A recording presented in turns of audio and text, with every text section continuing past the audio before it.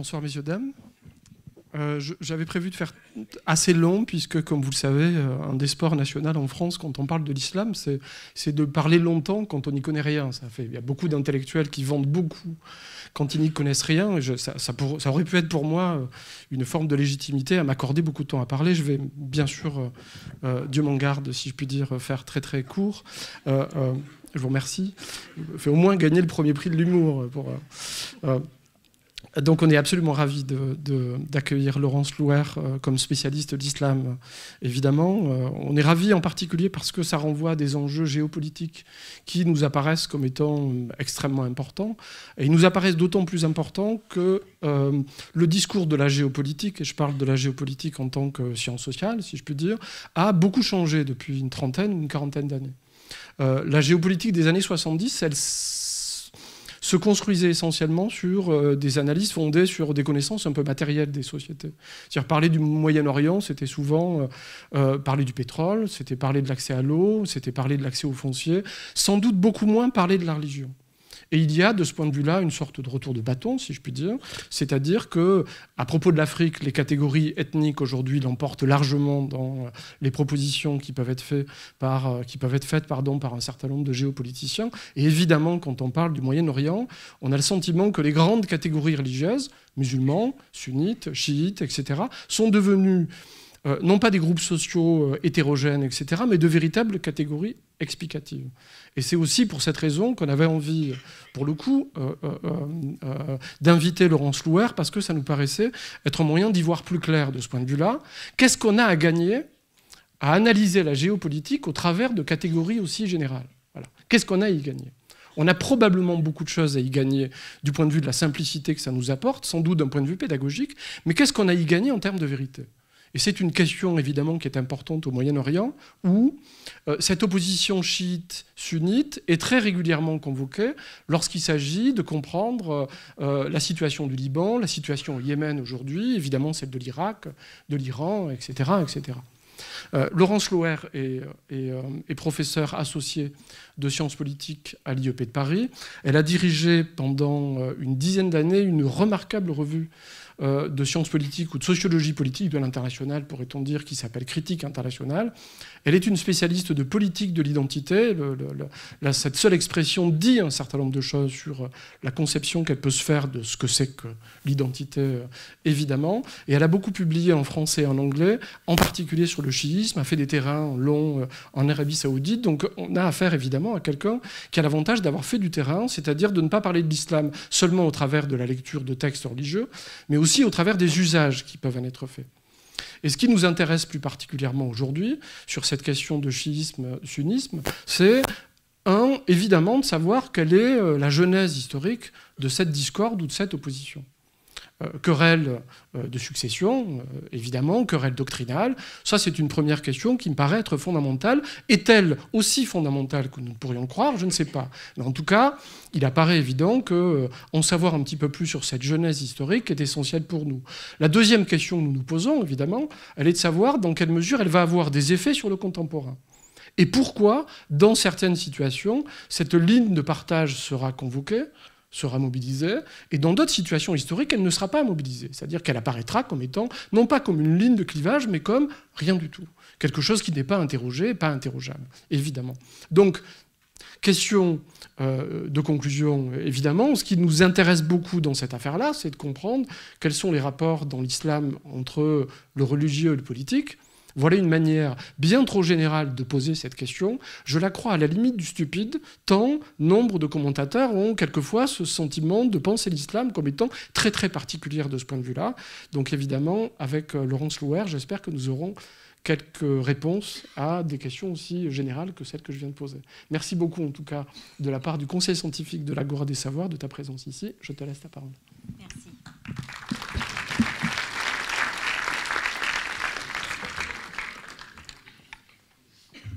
Bonsoir à tous et merci d'être venus si nombreux pour euh, cette, euh, cette, conférence. Euh, donc, au départ, je vous propose un petit, quelques petits cadrages, on va dire, démographiques et historiques, en commençant par vous parler chiffres.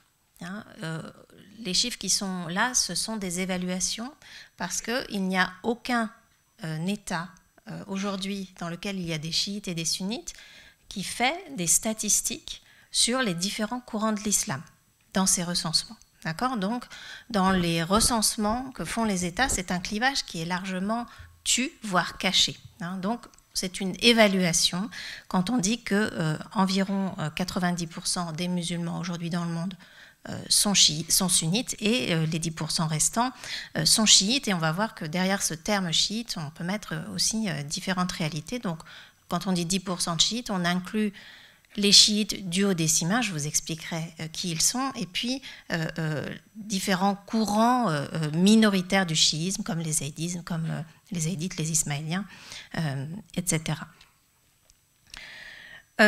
une autre précision géographique, c'est que ce clivage entre les sunnites et les chiites, il concerne uniquement la région du Moyen-Orient, Hein, donc c'est-à-dire euh, le Liban, la Syrie, l'Irak, euh, différentes monarchies du Golfe, dont l'Arabie saoudite, le Bahreïn et le Koweït, euh, le Yémen, le Pakistan, l'Afghanistan. Hein, donc il y a des chiites très très minoritaires au Maroc, par exemple, mais on va dire que ce n'est pas un clivage qui structure la vie sociale et la vie politique, surtout comme il peut le faire dans un pays comme le Liban, comme l'Irak ou comme l'Iran.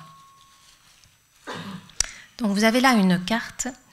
Euh, vous n'allez pas tout comprendre tout de suite, hein, euh, euh, mais au fur et à mesure vous allez comprendre. C'est une carte qui est dans le livre et qui est assez détaillée et qui, alors donc en vert vous avez les sunnites, en rose pâle vous avez les chiites duodécimains, donc qui sont le courant très très majoritaire du chiisme. Donc vous les voyez bien sûr répartis en Iran qui est euh, j'y reviendrai, le seul État jusqu'à aujourd'hui où le chiisme est la religion d'État. C'est comme ça depuis euh, le début du XVIe siècle. Euh, et puis, voilà, donc vous avez d'autres zones chiites importantes, le, sud de l'Irak, qui fait beaucoup l'actualité. Et puis, donc, en orange, c'est le Yémen, ce sont les Zaïdites du Yémen, qui est historiquement un courant du chiisme. Et moi, et j'essaierai de vous expliquer pourquoi je considère que euh, on a tort de les appeler euh, euh, chiites pour, pour des tas de raisons. Alors, le conflit entre sunnites et chiites a été réactivé, on va dire récemment, hein, et est devenu un, clivage politique pertinent dans le monde contemporain depuis euh, la révolution iranienne de 1979. Hein. donc on en parle beaucoup dans l'actualité actuellement, mais ce n'est pas quelque chose euh, euh, de, si récent que, cela. Et ce que je vais essayer de vous montrer ce soir, c'est que ce, on va dire ce conflit, hein, il implique autant des processus de différenciation, c'est-à-dire des, processus par lesquels sunnites et chiites essaient de mettre en avant leurs différences, leurs divergences, mais aussi des processus de convergence qui m'amènent à parler euh, d'une rivalité mimétique entre, euh, les sunnites et les chiites, c'est-à-dire qu'au fond, quand on se combat, eh on finit aussi par s'imiter très souvent. Donc, première euh, partie que je vous propose, c'est de faire un retour sur l'histoire de ce, de ce clivage, en vous expliquant qu'il s'agit, donc au départ, initialement, d'une querelle de succession qui oppose au fond différentes factions des compagnons de Mahomet. Donc Mahomet meurt en 632, il n'a pas de descendants mâles. S'il avait eu des enfants mâles vivants, euh, certainement euh, le conflit de succession n'aurait pas eu lieu, ou bien il aurait pris une forme différente, mais il n'avait que des filles. Et euh, d'après ceux qui sont devenus les sunnites, il n'avait pas laissé d'instruction quant à sa succession. Pour ceux qui sont devenus les chiites, au contraire, il avait laissé des instructions qui, d'après les chiites, étaient clairement exprimées euh, dans certains versets du Coran. Euh, il avait euh, dit que son successeur devait être Ali ibn Abi Talib. Donc vous avez là le, le nom, qui était son cousin, l'un des tout premiers convertis à l'islam. D'après les chiites, c'est le premier homme qui s'est converti à l'islam. Et il était aussi le gendre de Mahomet. Hein. Il avait épousé sa fille Fatima. Donc, d'après les chiites, la succession de Mahomet devait donc être c'est Ali ibn Abi Talib qui devait être le successeur de Mahomet, et après Ali, ses fils, ses petits-fils. Donc, hein, la, succession de Mahomet devait s'effectuer dans la lignée issue du mariage entre Ali et Fatima. Donc, Fatima, la fille euh, du prophète. Donc, le mot chiisme, on, me pose souvent la question, les gens croient que ça a quelque chose à voir avec le français schisme. Pas du tout. Hein. c'est un, terme francisé qui vient de l'arabe euh, et de l'expression arabe shirat Ali, qui veut dire les partisans de Ali. Hein, donc on voit bien l'essence factionnelle, si vous voulez, de ce clivage qui est devenu euh, un clivage religieux. Donc Shi'at Ali, ça veut dire les partisans de Ali. D'accord? Et euh, donc en arabe, on dit Shira, on dit Tashayyo pour dire, euh, pour dire chiisme. Donc le terme sunnisme vient de l'arabe sunna, qui est un terme polysémique, qui veut dire, on peut traduire ça par la voie droite, parfois certains disent euh, orthodoxie. Les sunnites en général préfèrent s'appeler Ahl Sunnah ou Al-Jama'a, c'est-à-dire les gens de la, de la tradition du prophète et de, la, et de la communauté ou de la majorité. On peut traduire Jama'a aussi euh, euh, en ce sens. Et donc, dans le contexte de cette querelle de factions, deux euh, on va dire, deux conceptions du pouvoir politique légitime en islam vont s'affirmer.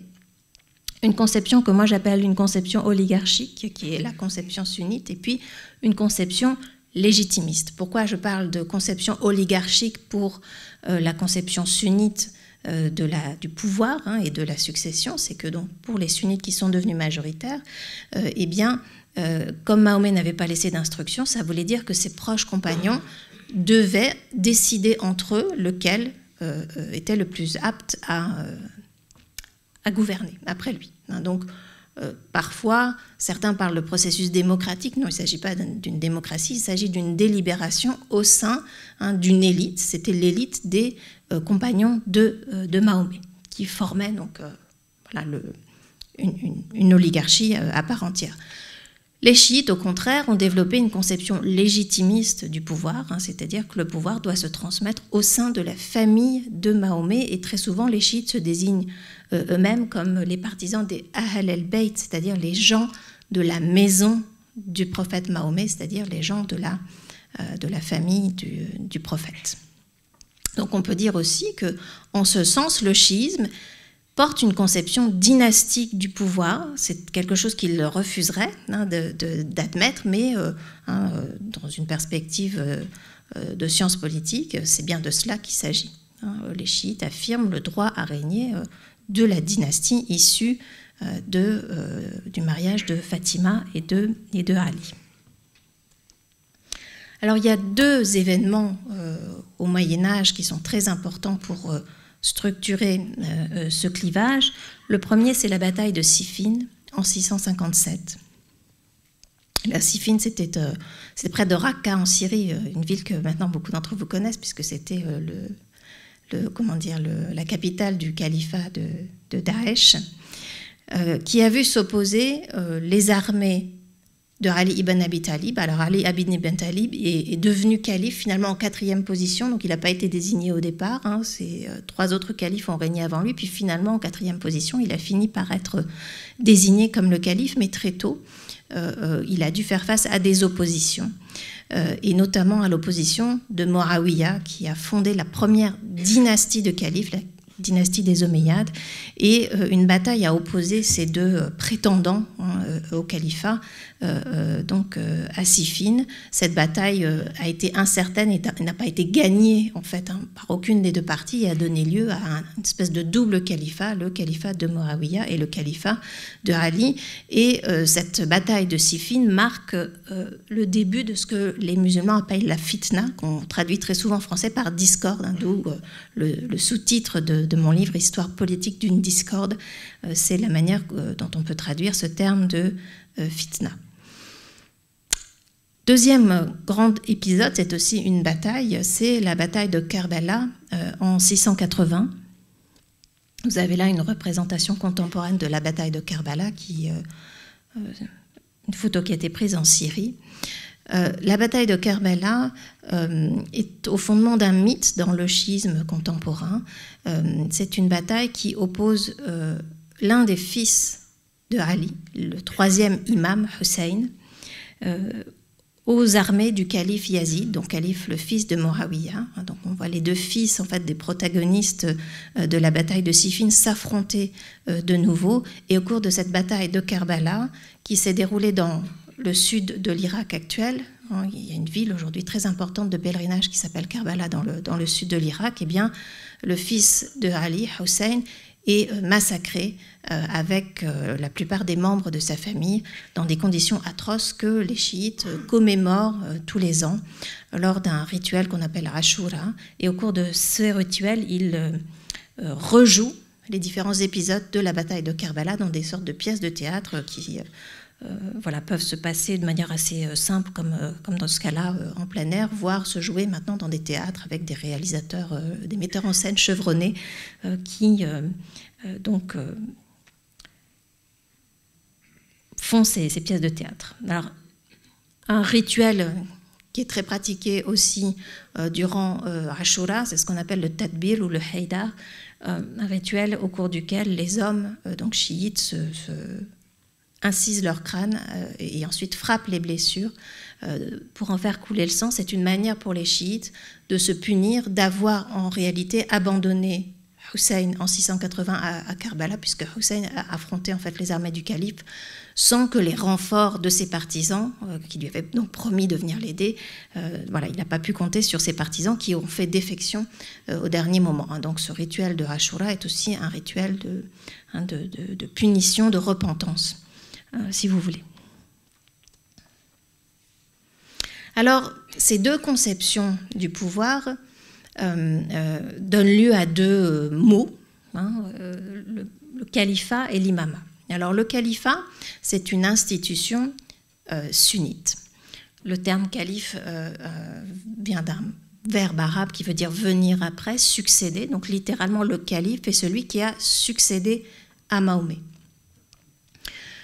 Alors le califat, ce qu'on les historiens appellent souvent le califat primitif, euh, euh, repose sur une conception théocratique hein, euh, du pouvoir, puisque le calife est à la fois chef de l'État, mais il intervient aussi dans la définition du dogme. Hein, les premiers califes, y compris les, les califes omeyyades, donc de la première dynastie, eh bien, ont largement sont largement intervenus dans la définition du dogme, dans la définition de la loi religieuse. Les califes euh, euh, ont joué un rôle important également dans la fixation du texte coranique, hein, c'est-à-dire dans, le, Mahomet était analphabète hein, et donc la, révélation était une révélation orale et ce n'est qu'assez tardivement qu'une version écrite a été, a été composée sous le troisième calife euh, Othman. Hein, donc on voyait des prérogatives euh, des califes assez, euh, assez étendues au départ. Cependant, et ça c'est quelque chose de très important, au cours, on va dire, du 9e siècle, sous la deuxième dynastie de califes qui s'appelait les Abbassides, il y a eu un processus de séparation entre les fonctions politiques et les fonctions religieuses. Et en fait, cette, cette séparation a eu lieu alors que euh, un corps de savants religieux, donc de personnes spécialisées dans euh, euh, l'exégèse, dans l'interprétation des sources religieuses de manière à constituer un corpus de lois eh bien, donc, ce, corps de spécialistes, de savants religieux s'est affirmé au cours euh, du IXe siècle et a, euh, on va dire, contribué à extirper la dimension théocratique du califat et donc à réduire le calife à un dirigeant politique.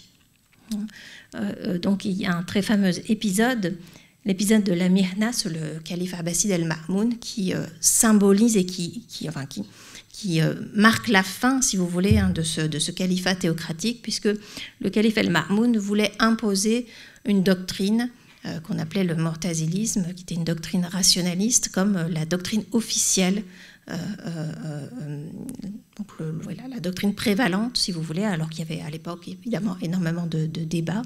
Et ce, cette tentative les oulémas, donc les oulémas, ça veut dire les savants religieux, hein, c'est une francisation d'un terme arabe, se sont opposés hein, à, cette, euh, tentative d'imposer cette, euh, doctrine mortazilite comme euh, le dogme officiel de l'État, et ils ont gagné. Hein, donc euh, le calife El Marmoun n'a pas pu euh, mener son projet jusqu'au bout et on estime qu'après euh, cet épisode de la Mihna, qu'on traduit parfois par inquisition, hein, parce qu'en effet le pouvoir califal a, persécuté un certain nombre de savants religieux qui, s'opposaient à sa volonté, mais à la fin, eh bien, la puissance publique n'a pas réussi, si vous voulez, à, réduire le, le, pouvoir des oulémas et finalement ils se sont imposés comme euh, ceux qui détenaient le monopole sur l'élaboration de la loi religieuse, le calife ne faisant plus que appliquer cette loi définie par, euh, les oulémas. Donc c'est un petit peu la fin, si vous voulez, euh, du califat comme institution théocratique, donc dès le, le 9e siècle. Chez les chiites, la conception légitimiste du pouvoir s'incarne dans cette institution qu'est l'imama, donc le terme imam, c'est un terme que vous connaissez tous, puisqu'on parle des imams de mosquées, qui sont les personnes qui dirigent la prière dans les mosquées. C'est un terme qui vient, encore une fois, de l'arabe, qui est aussi polysémique, qui euh, euh, désigne littéralement les personnes qui se tiennent devant, donc par extension des guides mais dans euh, le chiisme, le terme imam a un sens très spécifique qui n'a rien à voir avec euh, la fonction d'imam de mosquée, puisque l'imam est un être littéralement extraordinaire qui a accès à des sens cachés du message divin. Et il est chargé de révéler ces sens cachés à une élite des musulmans. Donc le prophète Mahomet était, d'après les chiites, chargé de révéler le sens euh, exotérique du Coran à la, majorité, à la majorité, tandis que les prophètes, les imams, pardon, ont été chargés par Dieu lui-même hein, de euh, donc révéler ses secrets à une, à une élite.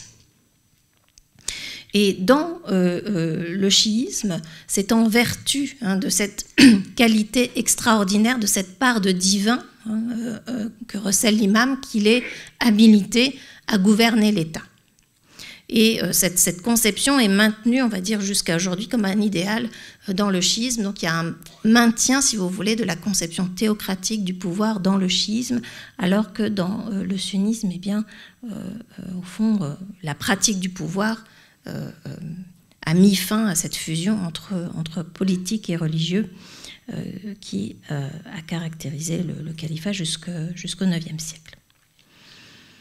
Donc le chiisme, c'est au départ une doctrine ésotérique, hein, alors que le sunnisme est plutôt dans le domaine de l'exotérique, même s'il y a dans le euh, sunnisme, on pourra y revenir euh, au cours du débat, des courants mystiques euh, qu'on appelle les courants soufis. Donc je vais vous l'expliquer, les, les, partisans de Ali, Hein, que les historiens appellent les alides, parce que fond, on peut parler de chiisme et de sunnisme stricto sensu qu'à partir du Xe siècle. Avant, on est encore dans, des réalités qui ne sont pas fixées euh, comme telles. Donc les partisans de Ali, les alides, se sont euh, querellés et se sont euh, scindés en plusieurs factions au cours de l'histoire qui ont donné lieu à des branches qui sont aujourd'hui minoritaires et qui donc ont suivi leur propre trajectoire. Donc, ce qu'on appelle le schisme duodécimain, donc qui est le schisme majoritaire aujourd'hui, qui est la religion d'État en Iran notamment, euh, est appelé duodécimain parce qu'il reconnaît une lignée de douze imams. Donc le premier imam, c'est euh, Ali, qui est effectivement devenu calife euh, jusqu'en 661. Il a régné de 656 à, à 661. D'après les chiites du Haut-Décima, le dernier imam, le douzième, a disparu en 874. Il a disparu, cela veut dire qu'il a été occulté par Dieu à la vue des hommes. Hein, pour le protéger des complots des califes, euh, dit la doctrine, Dieu a fait disparaître l'imam. Donc l'imam est présent dans le monde, mais il est caché et il se révélera euh, de nouveau euh, aux hommes hein, dans un temps eschatologique, si vous voulez. Hein, à la fin des temps. Ce qu'on peut dire, c'est que le schisme duodécimain aujourd'hui représente une forme d'orthodoxie hein, par rapport euh, à des courants minoritaires issus hein, des partisans de. J'en mentionne, euh, mentionne, deux. Hein. le courant des Zaydites, donc le Zaydisme, si vous vous souvenez de la carte, aujourd'hui on trouve au Moyen-Orient en tout cas des Zaydites, surtout au Yémen, au nord du Yémen. Et le conflit yéménite, le conflit civil, met aux prises notamment, il a beaucoup de dimensions, mais une milice qu'on appelle les Houthis, qui sont une milice zaydite au sens sociologique, c'est-à-dire que hein, les membres de cette milice sont zaïdites, mais c'est également une, milice qui euh, un projet de revaloriser, de euh, faire renaître euh, le zaïdisme, qui pense-t-il donc est menacé notamment par les, par les courants salafistes. Donc les zaïdites ne reconnaissent que cinq des imams que reconnaissent les chiites du haut des Et à partir du cinquième imam, ils ont suivi leur propre trajectoire et euh, ils ont leur propre lignée d'imams. Aucun imam n'a disparu dans le zaïdisme.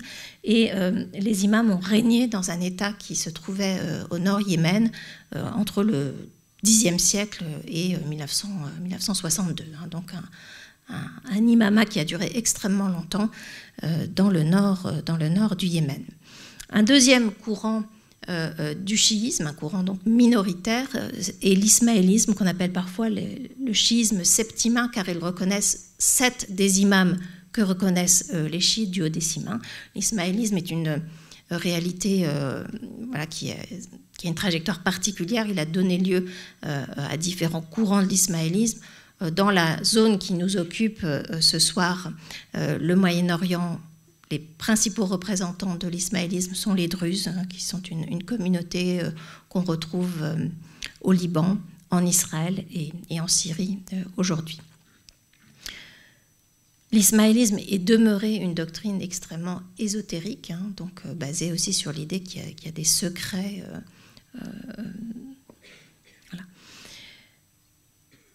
Alors c'est important, oui, quand je vous dis l'ismaélisme reste une doctrine ésotérique parce que, en revanche, ce schisme duodécimain, donc qui est devenu euh, majoritaire et, représente une forme d'orthodoxie, euh, euh, au fond, la, dimension ésotérique a fortement disparu dans le schisme duodécimain. L'occultation de l'imam. Hein, donc cette occultation de l'imam, c'est-à-dire la disparition du douzième imam, en fait est l'aboutissement d'une crise euh, de l'imam. Hein, les derniers imams, euh, euh, le dixième, le onzième, étaient en fait des personnages qui avaient un déficit de légitimité, hein, notamment vis-à-vis de la caste des, savants religieux. ce n'étaient pas des savants religieux, donc ils, euh, au fond, ce que nous disent les historiens, c'est que euh, ces, euh, derniers imams, ces, derniers imams, ne produisaient plus d'écrits, ne faisaient pas leur travail d'interprétation des sources religieuses et que c'était des oulémas qui étaient leurs collaborateurs qui faisaient ce travail à, leur place. les historiens doutent également du fait que l'imam, le douzième imam, soit jamais né. Hein, il est probable que cette doctrine de l'occultation est venue, au fond, euh, euh, expliquer, si vous voulez, c'est une sorte de, tour de passe-passe pour, euh, expliquer l'extinction de l'imama. Hein, l'extinction, c'est-à-dire de la, lignée, de la lignée des imams. Et à partir de, cette période de, l'occultation, donc qui commence à la fin du, du Xe siècle, eh bien, on observe un processus de déradicalisation euh, du schisme, du haut des radicalisations sur le plan des doctrines, mais aussi sur le plan politique, des radicalisations sur le plan des doctrines, c'est-à-dire que la dimension ésotérique, elle est extirpée au profit d'une doctrine qui est devenue extrêmement rationaliste, et je pense beaucoup plus rationaliste que le chiisme. Hein. Le chiisme du haut aujourd'hui euh, a un rapport décomplexé à la raison et postule euh, qu'il y a une, correspondance entre la rationalité divine et la rationalité humaine, euh, quelque chose qui est beaucoup plus difficilement accepté dans le sunnisme mainstream, je dirais. Un processus de déradicalisation politique également, car à partir de cette période, on constate aussi que le chiisme cesse d'être essentiellement une doctrine de contestation euh, des pouvoirs établis. Hein, euh, euh, et au contraire, hein, on voit les oulémas chiites du décimain, donc les savants religieux, s'accommoder avec toutes sortes de, pouvoirs politiques temporels. Donc c'est important parce que peut-être certains d'entre vous qui s'intéressent à, ces questions ont en tête ces images de la révolution iranienne de 1979 qui ont véhiculé hein, quand même l'idée que le chiisme était intrinsèquement radical et révolutionnaire. Or, en fait, hein, j'essaierai de vous montrer que cette révolution iranienne de 1979 elle, marque une rupture hein, dans ce processus de déradicalisation. Alors un premier aspect du clivage sunnite qui est très important euh, aujourd'hui, euh, c'est que euh, ces deux doctrines, ces deux identités servent dans le cadre des processus de légitimation d'État au Moyen-Orient. Alors ça a été comme ça au cours de l'histoire, c'est comme ça aujourd'hui. L'exemple le plus important au Moyen Âge c'est la rivalité qui s'est nouée entre les Ottomans et les Safavides. Hein, alors, je vous montre tout de suite voilà, la carte euh, de ces deux empires. Euh, c'est une carte du, XVIIe siècle. Donc, vous voyez, hein, donc en vert, l'Empire ottoman, qui, comprenait la plupart des régions arabes, à, hein, l'exception centrale de ce qui est aujourd'hui l'Arabie saoudite, enfin une partie de l'Arabie saoudite. Et donc vous voyez l'empire safavide euh, en rouge, oubliez l'empire euh, moghol, je ne vais pas vous en parler euh, ce soir, mais donc vous voyez que la ligne hein, de la frontière entre ces deux empires se situe dans ce qui est aujourd'hui l'Irak, hein, le sud de l'Irak. Et le sud de l'Irak, tout ce qui est au sud de Bagdad, est une région qui a été prise et reprise par les, Ottomans puis par les Safavides euh, à plusieurs reprises au cours, euh, du XVIe siècle. Et d'une manière générale, c'est vraiment le golfe Persique hein, euh, qui était cette frontière entre ces deux empires et donc aussi une frontière identitaire hein, entre sunnites et chiites. Donc les Ottomans et les Safavides, c'est au fond l'histoire de deux constructions impériales en miroir. Hein, donc c'est un premier exemple de, cette rivalité mimétique. Euh, euh, les Safavides, qui étaient-ils au départ? C'était au fond des rebelles euh, qui vivaient sur le territoire ottoman. Ils appartenaient à une, à une confrérie soufie. Ils étaient sunnites, mais à cette époque, la différence hein, et, la différence entre sunnisme et chiisme était, était, relativement, euh, était relativement peu claire. Et euh, euh, dans, leur processus de rébellion contre le pouvoir central ottoman, à un moment, ils se convertissent au chiisme, sans doute une forme de chiisme extrêmement frustre et très ésotérique qui n'avait pas, grand-chose à voir avec ce qu'est aujourd'hui euh, le chiisme duodécimain euh, euh, si rationaliste.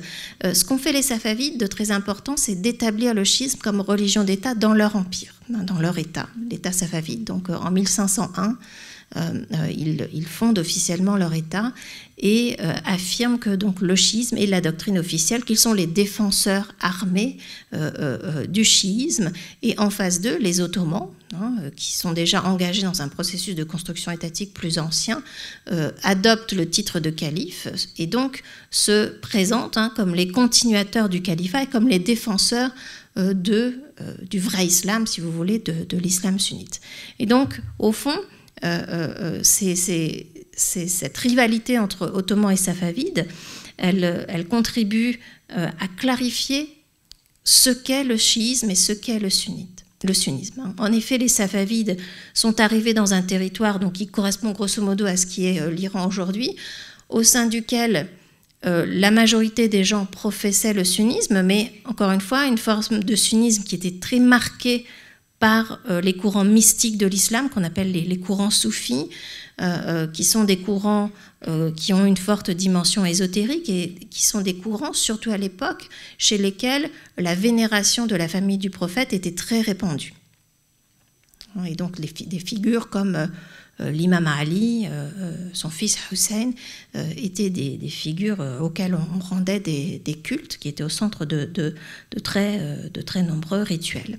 Donc pour les Safavides, l'enjeu hein, d'affirmer le schisme comme religion d'État, c'est aussi de dire ce qu'est le chiisme. Et pour dire ce qu'est le chiisme, ils ne le savaient pas très bien eux-mêmes, hein, et donc ils ont fait appel à des savants religieux arabes, libanais, enfin, ce qui, Liban n'existait pas à l'époque, mais des gens qui venaient de ce qui est aujourd'hui le sud euh, du Liban, mais également de ce qui est aujourd'hui la province orientale de l'Arabie saoudite euh, et le Bahreïn, puis aussi le, sud de l'Irak. Ces personnes ont en fait servi d'intellectuels organiques au régime safavide et ont travaillé à clarifier et à fixer ce qu'était au fond euh, le chiisme, c'est-à-dire ce qu'était la, bonne manière hein, de, pratiquer l'islam et euh, c'est à partir des Safavides que la majorité euh, hein, de, la population, qui est aujourd'hui la population de l'Iran, euh, est, devenue, est devenue chiite. Donc, comme je vous l'indiquais, et donc vous le revoyez sur la carte, cette rivalité entre les Safavides et les Ottomans a fait du Golfe Persique une ligne de faille majeure, une frontière majeure entre, entre sunnites et chiites. Ce qui est intéressant, c'est la manière dont cette ligne de faille euh, est toujours aujourd'hui une ligne de faille et elle, s'incarne. on peut dire que le conflit entre euh, les Ottomans et les Safavides aujourd'hui est réactivé et rejoué dans ce qui a été pendant longtemps, c'est-à-dire en fait jusqu'à 2003, hein, c'est-à-dire jusqu'à la chute du régime de Saddam Hussein, la rivalité entre l'Iran et l'Irak. Euh, L'Irak est un État qui a été euh, constitué au lendemain de la chute de l'Empire ottoman en 1918, donc après la Première Guerre mondiale. Euh, c'est un État qui a été construit par la puissance coloniale britannique de la réunion de trois provinces arabes de l'Empire, ottoman. Et la majorité des habitants de ce, nouvel État, l'Irak, étaient en fait chiites. il y avait beaucoup d'Iraniens, beaucoup de commerçants et beaucoup de savants religieux, mais aussi euh, beaucoup de, membres des tribus arabes, qui, les tribus arabes du sud, de ce qui est aujourd'hui le sud de l'Irak, s'étant convertis massivement au chiisme euh, au cours du, du 19e siècle. L'Irak également abrite plusieurs tombeaux d'imams. Donc voilà une photo euh, du tombeau de l'imam Ali à Najaf, donc, qui se trouve au sud de l'Irak, au sud de Bagdad aujourd'hui, qui est un lieu de pèlerinage majeur, mais aussi, pendant très longtemps, euh, euh, grosso modo depuis la, seconde moitié du 19e siècle jusqu'à la révolution euh, de 1979 en Iran, ça a été le principal centre de formation des savants religieux chiites. Et jusqu'à aujourd'hui, cela reste le lieu de résidence des principales autorités religieuses chiites à l'échelle du monde. Hein, vous avez peut-être entendu parler de Alice Sistani, si vous lisez un petit peu la presse, qui euh, euh, est basée euh, à Najaf et qui est le, le clerc, hein, le savant religieux le plus, le plus suivi aujourd'hui dans le monde chiite. Ali Sistani vit en Irak, à Najaf, depuis une soixantaine d'années, mais il est iranien. Hein, donc il est citoyen iranien. Euh, et donc je pense que cet exemple vous montre à quel point il y avait vraiment... Euh, enfin l'Irak hein, a été construit sur cette, sur cette ligne de faille euh, entre, entre ottomans et safavides. Et donc c'était vraiment un territoire, surtout le sud de l'Irak, au sein duquel les populations s'interpénétraient, si vous voulez, et où la présence iranienne était très importante et et euh, ce qui explique hein, aujourd'hui pourquoi euh, donc Ali Sistani, euh, dont les gens pensent parfois qu'il est irakien, donc a conservé sa nationalité iranienne. Son prédécesseur, Abul Qasim el-Khoui, était également un Iranien. Et donc au fond, toute la problématique de l'Irak contemporain est de gérer hein, cette, cette démographie et cette interpénétration euh, euh, euh, des identités et des groupes. L'État irakien est un État qui a été construit autour de la minorité arabe sunnite pour diverses raisons et notamment parce que euh, les Britanniques se méfiaient énormément euh, des chiites. Pour eux, les chiites étaient tous des Iraniens ou bien des agents à la solde de l'Iran. Ça aussi, c'est un héritage de la rivalité entre les Ottomans et les Safavides, hein, puisque la, fixation du chiisme en tant que religion d'État en Iran eh bien, euh, a étroitement associé le chiisme à l'État iranien. C'est-à-dire qu'aujourd'hui, à partir de ce moment, et puis euh, jusqu'à aujourd'hui, aux yeux de nombreux sunnites, les chiites sont tout simplement tous des Iraniens, ou bien ils sont proches de l'Iran, ils sont des agents euh, iraniens. Et l'État iranien euh, lui-même utilise le chiisme comme un outil d'influence à l'extérieur de ses frontières. et le schisme est étroitement, comment dire, est un pilier, on va dire, de l'identité nationale iranienne. On peut même dire que c'est une sorte de religion, c'est la religion nationale iranienne. Donc, l'inquiétude, on va dire, des élites arabes sunnites euh, irakiennes vis-à-vis hein, de, cette démographie a amené euh, euh, diverses pratiques discriminatoires à l'encontre des chiites. Ceux-ci ont été déportés massivement dans les années 70 et dans les années 1980, car on les soupçonnait de voilà d'être à la solde de, l'Iran, avec lequel il y avait un problème, enfin des, des, contentieux frontaliers nombreux. les chiites euh, euh, c'est euh, Pierre-Jean Luisard qui explique ça très bien. un certain nombre d'entre eux ont été déclarés citoyens irakiens de seconde zone dans le Code de la nationalité de 1924, c'est-à-dire qu'ils étaient citoyens irakiens, mais de nationalité iranienne. Hein. donc il y avait une construction de la citoyenneté comme ça à deux vitesses, et les Irakiens de nationalité iranienne ne pouvaient en particulier pas accéder à des postes dans la, dans la fonction publique. Voilà. Et donc euh, euh, il y a eu une guerre entre l'Iran et l'Irak entre 1980 et 1988, qui a été une guerre euh, très meurtrière.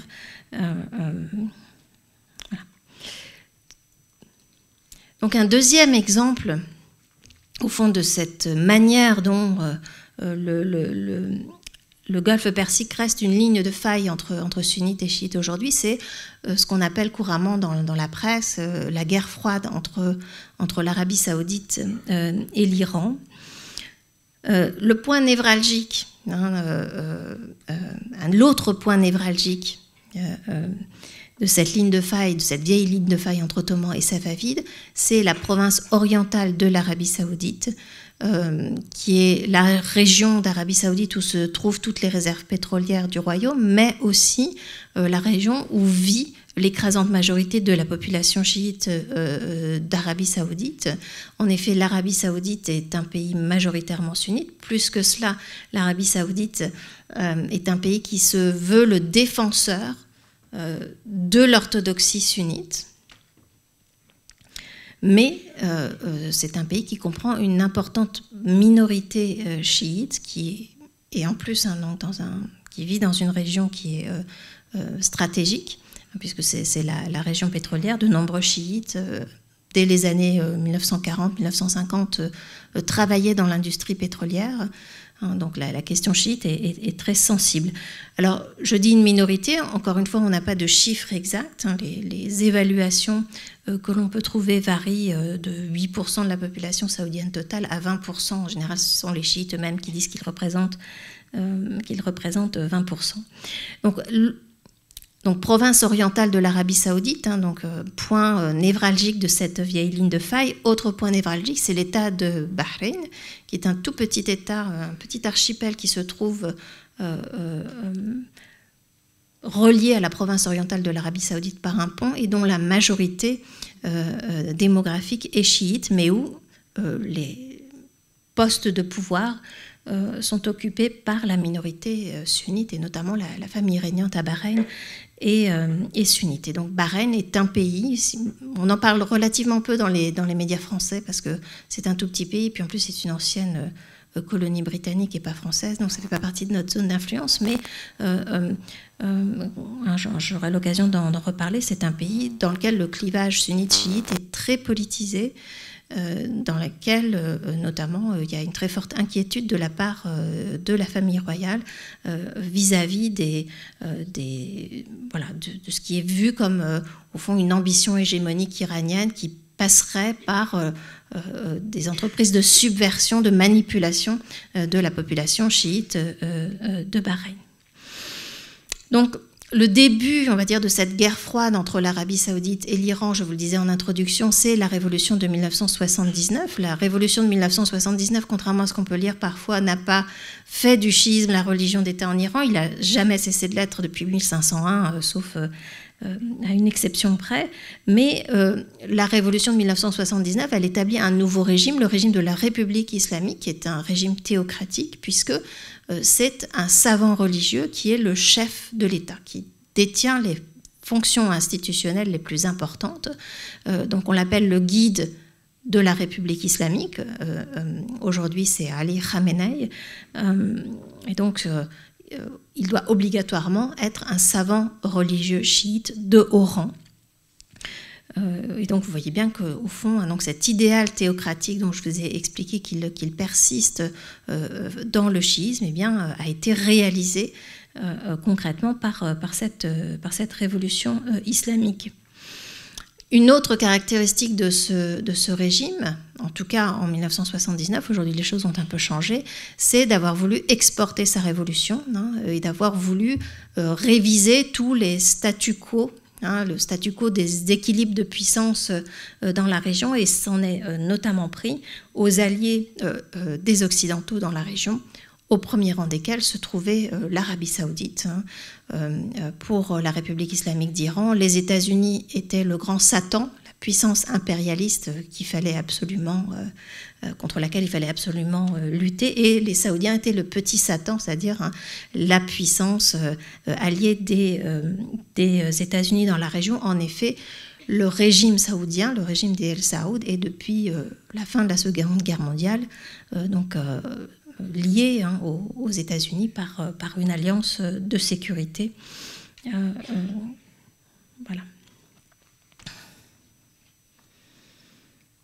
Donc en fait, ce qu'a fait la révolution de 1979, c'est non seulement d'établir euh, un régime théocratique typiquement chiite, mais également de remettre en cause euh, le statut de leader du monde musulman euh, que l'Arabie saoudite s'était construit à partir des années 1960 euh, dans le cadre de ce qu'on a appelé la guerre froide arabe. La guerre froide arabe, hein, c'était euh, euh, le conflit latent qui opposait au fond les, ceux qui étaient les pays arabes qui étaient alignés sur, sur l'Union soviétique aux pays arabes qui étaient alignés sur le bloc, sur le bloc occidental.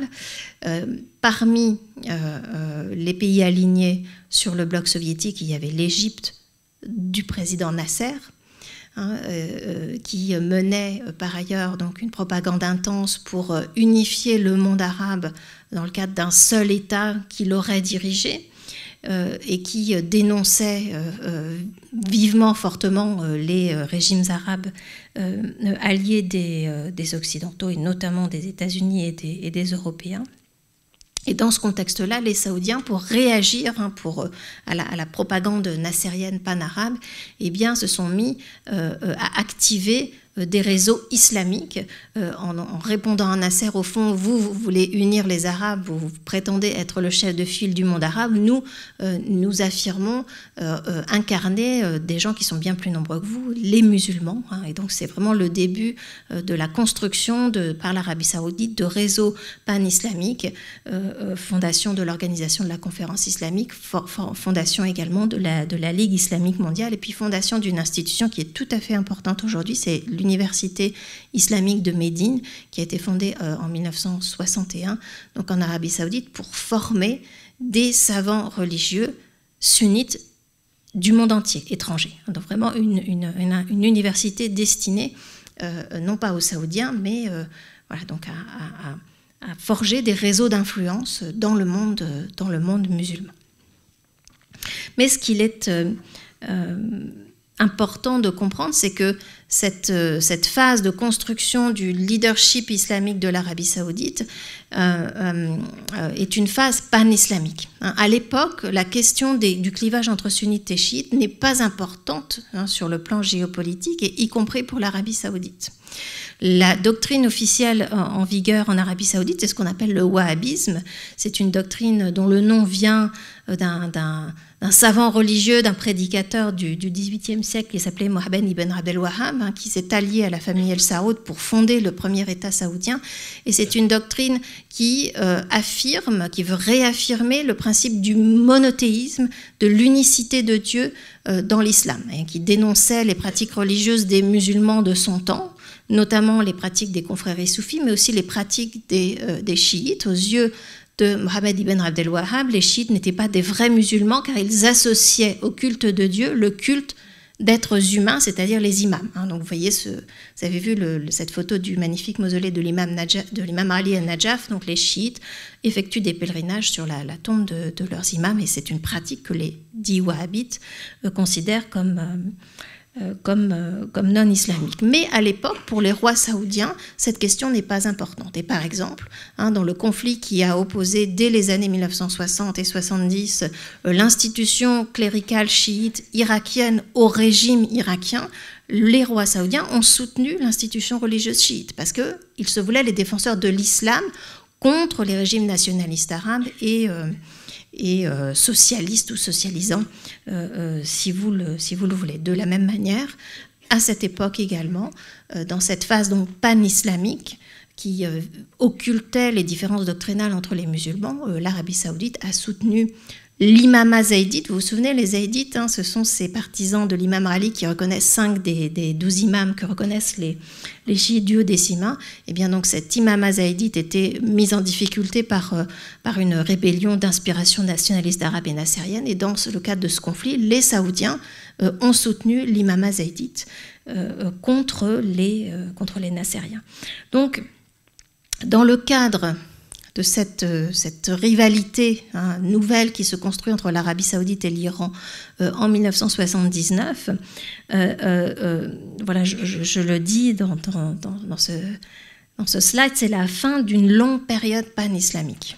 Hein, puisque pour, au fond, contrer la propagande révolutionnaire de l'Iran, l'Arabie saoudite tente et réussit d'enfermer l'Iran dans ce que Olivier Roy a appelé le ghetto chiite.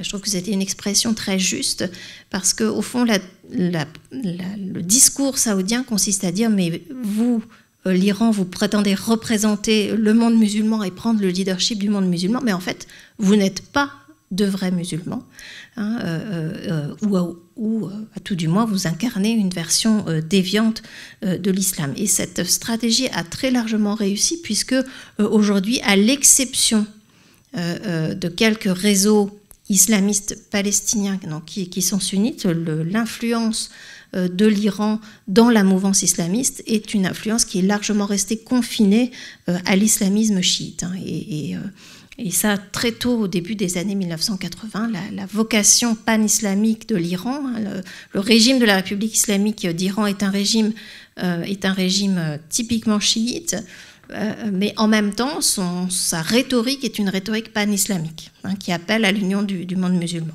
Et au fond, c'est une, une, rhétorique qui a, qui a échoué, puisque, comme je vous le disais, les réseaux d'influence iraniens sont largement des réseaux d'influence chiite.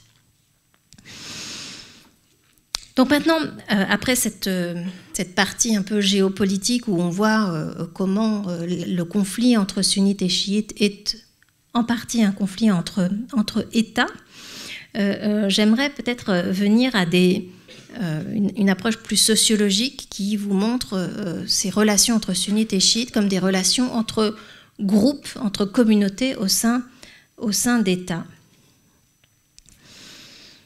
avec un, premier point sur ce que j'ai appelé l'échec des islams génériques, c'est-à-dire l'échec des tentatives qui ont eu lieu dans certains pays, euh, et là je vais développer euh, le cas du Pakistan et du Yémen, pour promouvoir des islams génériques, c'est-à-dire généraux, aveugles aux différences doctrinales, de manière à, euh, en général, hein, c'est tentatives de promotion d'islam générique ont été faites dans le cadre de construction de nouveaux États-nations, hein, dans lequel euh, il était important aux yeux des élites dirigeantes de, euh, au fond, euh, d'atténuer les différences confessionnelles entre, entre les citoyens.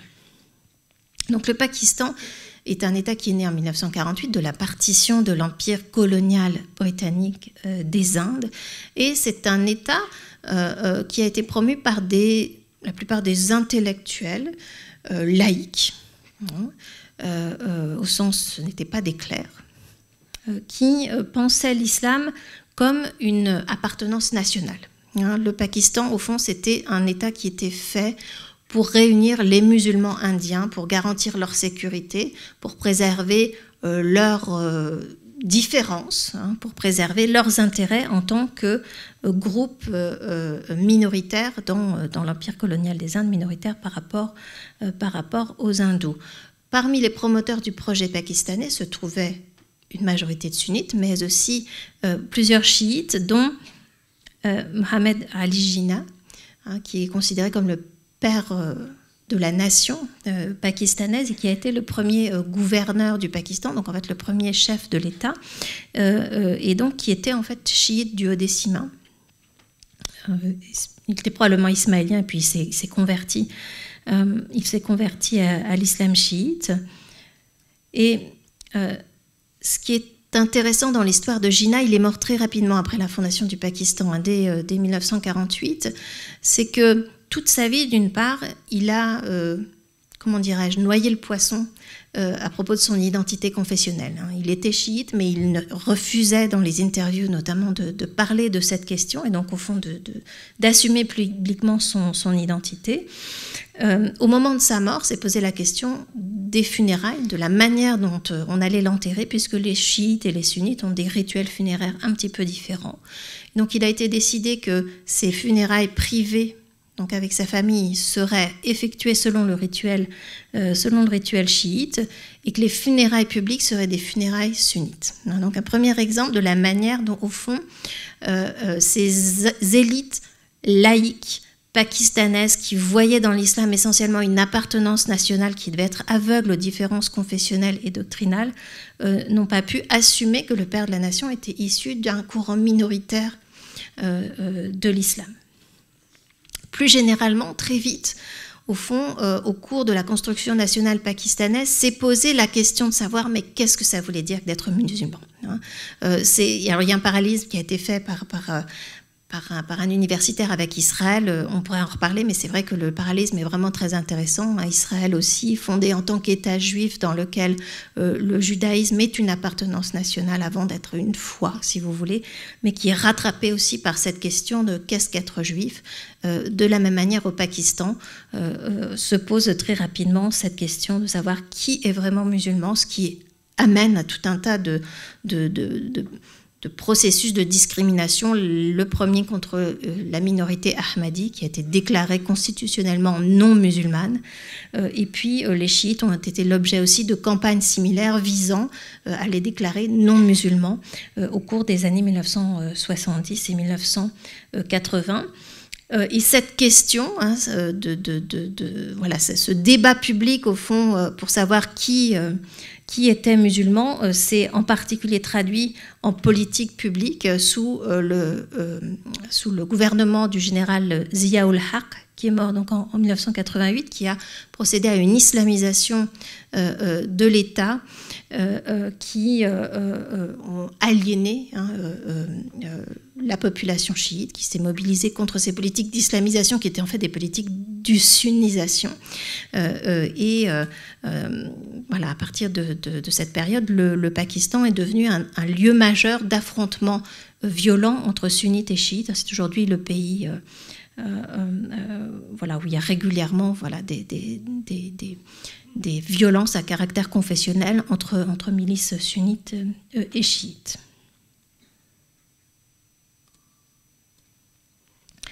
Alors, au Yémen, on voit un processus également une tentative hein, euh, de euh, promouvoir un islam euh, générique. Donc vous vous souvenez, au Yémen, je vous ai dit que dès le Xe siècle, il y a eu un imam zaïdite.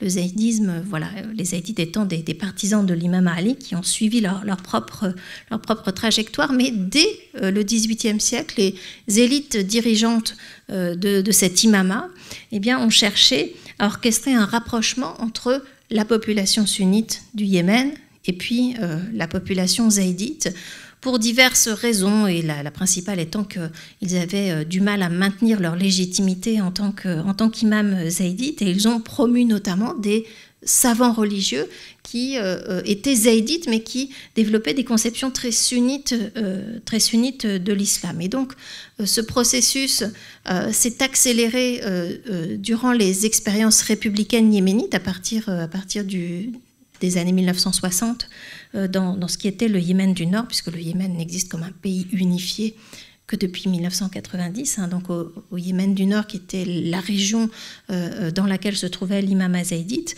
les élites républicaines ont cherché à gommer la différence confessionnelle et à créer une unité nationale, donc en renforçant ce processus de sunnisation du zaïdisme, et ce qui, si bien qu'au Yémen, hein, et peut-être que la guerre changera quelque chose, mais jusqu'à euh, il y a quelques années en tout cas, euh, euh, la différence hein, entre les zaïdites et les sunnites était souvent très ténue. certains yéménites ne sachant pas s'ils étaient zaïdites ou sunnites, et un certain nombre de figures du salafisme yéménite et du salafisme international étant né dans des familles, euh, des familles zaïdites. Alors le salafisme, qu'est-ce que c'est? C'est une doctrine alors spécifiquement euh, sunnite et très anti-chiite euh, qui aujourd'hui est, liée hein, à des autorités, principalement liée à des autorités religieuses qui se trouvent, qui se trouvent en, Arabie, en Arabie saoudite. Et donc je vous parlais de ce fameux mouvement Houssi. Vous avez là donc la photo de Adel Malek el-Houssi, qui est l'un des leaders de, ce mouvement houssiste. Le nom Houssi vient d'une famille de clercs zaïdites, donc de savants religieux zaïdites euh, euh, yéménites, qui euh, a cherché précisément à contrer hein, ce processus de promotion d'un islam générique qui équivalait en réalité à un processus de sunnisation du zaïdisme. C'est pour ça que je vous expliquais que le mouvement Houssi est un mouvement de revalorisation, de renouveau, euh, de renouveau zaïdite euh, orchestré par, au fond, d'anciennes élites de, de l'imama zaïdite qui a, disparu, qui s'est éteint dans, les années, dans les années 60.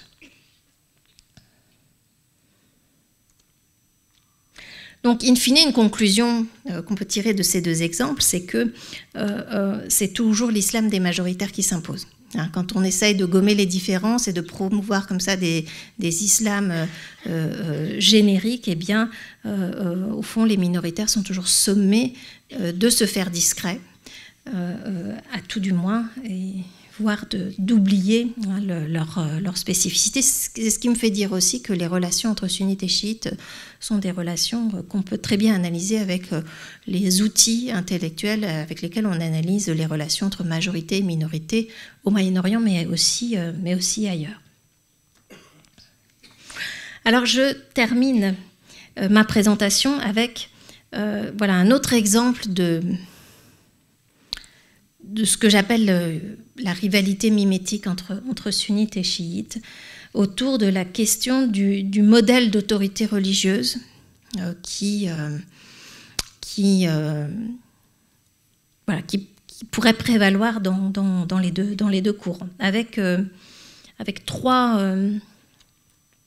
trois cas, encore une fois. Alors le premier cas, c'est le cas de Bahreïn. Alors vous vous souvenez, Bahreïn, je vous ai dit, ce tout petit État à majorité, à majorité démographique chiite, mais dirigé par, euh, par des, sunnites qui est tout près de, l'Arabie saoudite. En 2011, dans le cadre de ce qu'on appelle les printemps arabes ou de ce qu'on a appelé les printemps arabes, le Bahreïn a connu lui aussi un soulèvement en février 2011, euh, orchestré principalement par l'opposition islamiste chiite euh, euh, au régime. Et donc, c'est un mouvement dont la majorité euh, des, membres étaient, étaient chiites. El Wifaq, hein, ce, parti est donc un parti islamiste chiite, c'est le principal parti d'opposition, c'est un parti de, masse. il a été à la tête du mouvement de revendication démocratique de 2011. Et ce qui est intéressant, c'est que rapidement, euh, euh, dès les premiers jours, un mouvement contre-révolutionnaire euh, s'est structuré dans une partie de la population sunnite de Bahreïn, le Rassemblement de l'Unité nationale. Et le Rassemblement de l'Unité nationale s'est organisé en fait comme une tentative de devenir un wifaq sunnite, c'est-à-dire d'organiser les sunnites en une communauté et d'organiser un mouvement sous la houlette d'un clergé sunnite, c'est-à-dire l'équivalent hein, euh, euh, sunnite euh, d'Al-Wifaq. En effet, Al-Wifaq, comme beaucoup de mouvements islamistes chiites, est un mouvement dont le secrétaire général est un clerc, hein, donc un savant religieux.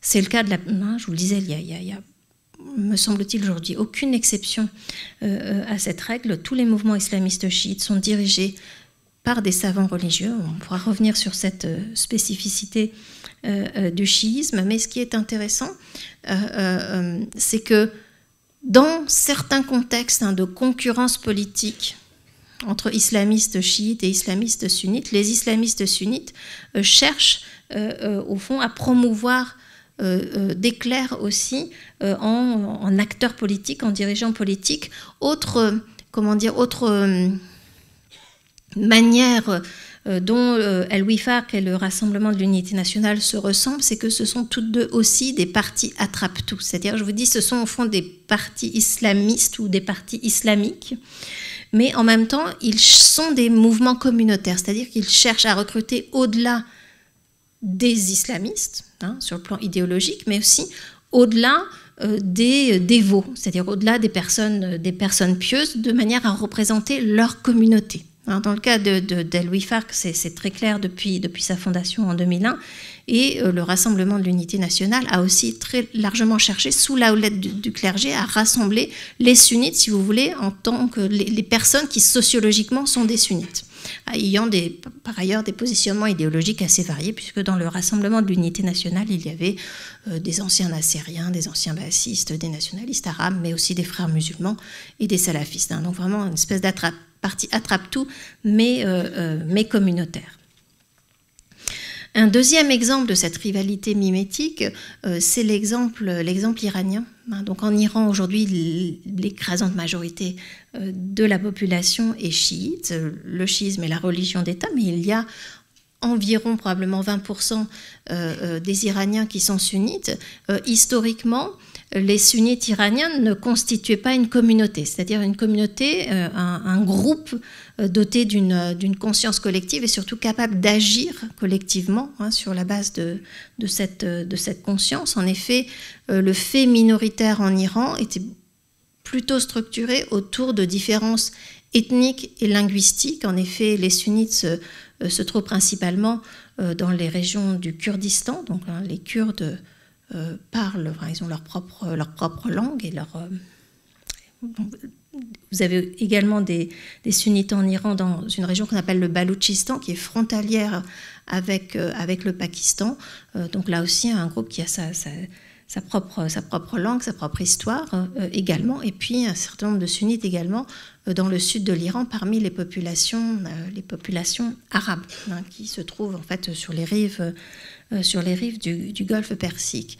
Or, ce que l'on constate, euh, et donc en fait, quand il y avait des mouvements, on va dire, de contestation ou des mouvements dissidents en Iran issus de populations sunnites, les revendications étaient des revendications essentiellement ethno-linguistiques et l'opposition à l'État se faisait sur la base de, ces, euh, de, ces, cette mise en avant d'identité, d'identité ethno-linguistique et pas du tout sur la base d'une mise en avant d'identité, d'une identité confessionnelle sunnite. Hein cette, mise en avant d'une identité confessionnelle sunnite était aussi entravée hein, par, euh, par l'éloignement géographique et puis euh, euh, dire par l'absence, on pourrait dire, de, d'une histoire commune de ces, populations. or, depuis les années 2000, on constate voilà, l'émergence hein, d'une élite cléricale, notamment au Baloutchistan et, au Kurdistan, euh, qui euh, arrive finalement à structurer quelque chose qui pourrait ressembler à une communauté sunnite pour la première fois, hein, donc qui arriverait à transcender les clivages euh, ethno-linguistiques et à parler au nom hein, d'une communauté sunnite minoritaire. Et en fait, ce processus est largement favorisé aussi par un changement d'attitude du régime iranien qui, pendant longtemps, a cherché à réprimer hein, toute tentative de euh, structuration d'une communauté sunnite à part entière et qui, euh, au contraire, ces dernières années, euh, semble avoir accepté, au fond, cette, présence d'une voilà, cette émergence d'une communauté sunnite, mais qui se structure sur un modèle typiquement chiite, hein, c'est-à-dire autour d'un leadership clérical. Et puis donc le, dernier exemple que, je ne vais pas développer parce que c'est un petit peu un ballon d'essai au fond que, je lance, c'est cette figure du, calife euh, Abu Bakr el-Baghdadi. Vous savez, c'est le, calife de Daesh, hein, euh, donc de l'organisation euh, État islamique. Je vous le disais, hein, le califat, historiquement, dès le, le, 9e siècle, n'est plus un califat théocratique. Hein. Le calife est un par opposition à l'imam, chiite en particulier, c'est un être humain ordinaire, au sens où il ne recèle pas une part de divin, euh, et euh, il n'a pas, euh, comment dire, il n'a pas de rôle dans l'élaboration de la loi religieuse. Il n'est censé faire qu'appliquer hein, la loi religieuse élaborée par les savants religieux. Mais au fond, Abu Bakr el-Baghdadi, donc une figure politique, un chef d'État ou de proto-État, comme on, veut l'appeler, mais également quelqu'un euh, qui a étudié les sciences religieuses et donc qui a une formation cléricale et qui met en avant cette formation cléricale. Et donc, au fond, euh, euh, une figure typiquement chiite, mais qui est une figure sunnite, hein, puisque Daesh est, est, une organisation islamiste sunnite qu'on appelle souvent salafiste djihadiste. Et ça me semble être peut-être un autre exemple intéressant hein, de la manière dont, au fond, le conflit entre sunnites et chiites eh bien, euh, génère euh, euh, ces dynamiques de, mimétisme. et je pense, et ce sera mon, mon mot de conclusion, qu'il y a chez les sunnites, et notamment dans la mouvance islamiste sunnite, une fascination pour le modèle chiite de fusion entre autorité politique et autorité religieuse euh, euh, euh, et, que c'est un modèle donc qui fascine et qu'un certain nombre d'acteurs cherchent à émuler dans l'objectif hein, de, renforcer à la fois le politique mais aussi le religieux. Voilà, merci beaucoup.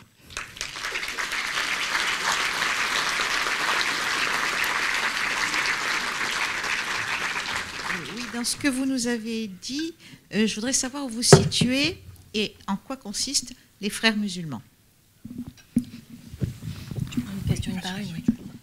oui. les frères musulmans, c'est vrai que j'en ai pas parlé, il y a tellement de choses à dire. Oui, voilà, donc les frères musulmans euh, euh, euh, sont une organisation islamiste sunnite, donc née en Égypte en 1928 et qui aujourd'hui incarne ce qu'on pourrait appeler l'islamisme sunnite mainstream, hein, c'est-à-dire le, courant le courant majoritaire, hein, je pense encore, euh, un courant euh, euh, moderniste, un courant pragmatique aussi qui partout où c'est possible, participe aux institutions politiques établies. Hein, ça a été le cas au Yémen, ça a été le cas en Égypte quand ça, quand ça a été possible notamment, c'est le cas en, au Koweït, c'est le cas, c'est le cas euh, au Bahreïn. Et ce qui est important de, préciser, peut-être pour les frères musulmans, c'est que euh, l'organisation des frères musulmans, euh, voilà, en tant qu'organisation, mais aussi en tant qu'idéologie, a énormément inspiré l'islamisme chiite. Hein, l'islamisme chiite est né principalement en Irak à la fin des années 1950. C'était le parti qu'on appelait le parti El Darwa. Et le parti El Darwa euh, s'est beaucoup inspiré des, frères musulmans dans, son idéologie. On pourrait même dire qu'au départ, l'idéologie islamiste chiite est une sorte de chiitisation des, principes des frères musulmans. Ce qui, ce qui est un exemple quand même qui montre comment au fond, euh, la, fracture et l'idée que ces, deux courants euh, euh, sont, irréconciliables et inconciliables, si vous voulez, est une idée relativement récente, puisqu'il était tout à fait logique aux yeux des, islamistes chiites des années 50, 60, 70 de, se réclamer de l'héritage des frères musulmans. Oui, donc justement, par rapport à ce que vous venez de dire, je crois savoir, je crois que c'est Bruno Etienne dans l'islamisme radical en 87 qui évoque l'influence de Sayed Kopt, des écrits de Sayed Kopt sur l'ayatollah Khomeini.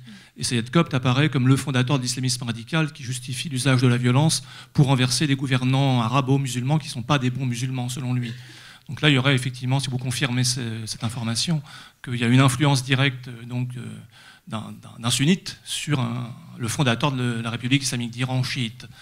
Et également, à propos d'Al-Qaïda, Oussama Ben Laden donc, était saoudien, donc euh, sunnite, mais on dit que sa mère était d'origine euh, chiite, peut-être, et que cela, cela, expliquerait que dans un premier temps, Al-Qaïda ne faisait pas trop d'opposition entre chiites et sunnites. C'est seulement avec Abu Moussa al-Zarqawi en Irak, à partir de 2006, que Zarqawi a opté pour une stratégie de, violence extrême à l'encontre des sunnites et que ainsi finalement il est à l'origine, il serait à l'origine euh, de l'État islamique de Daesh qui se distingue radicalement désormais d'Al-Qaïda et qui est devenu entré en concurrence avec Al-Qaïda.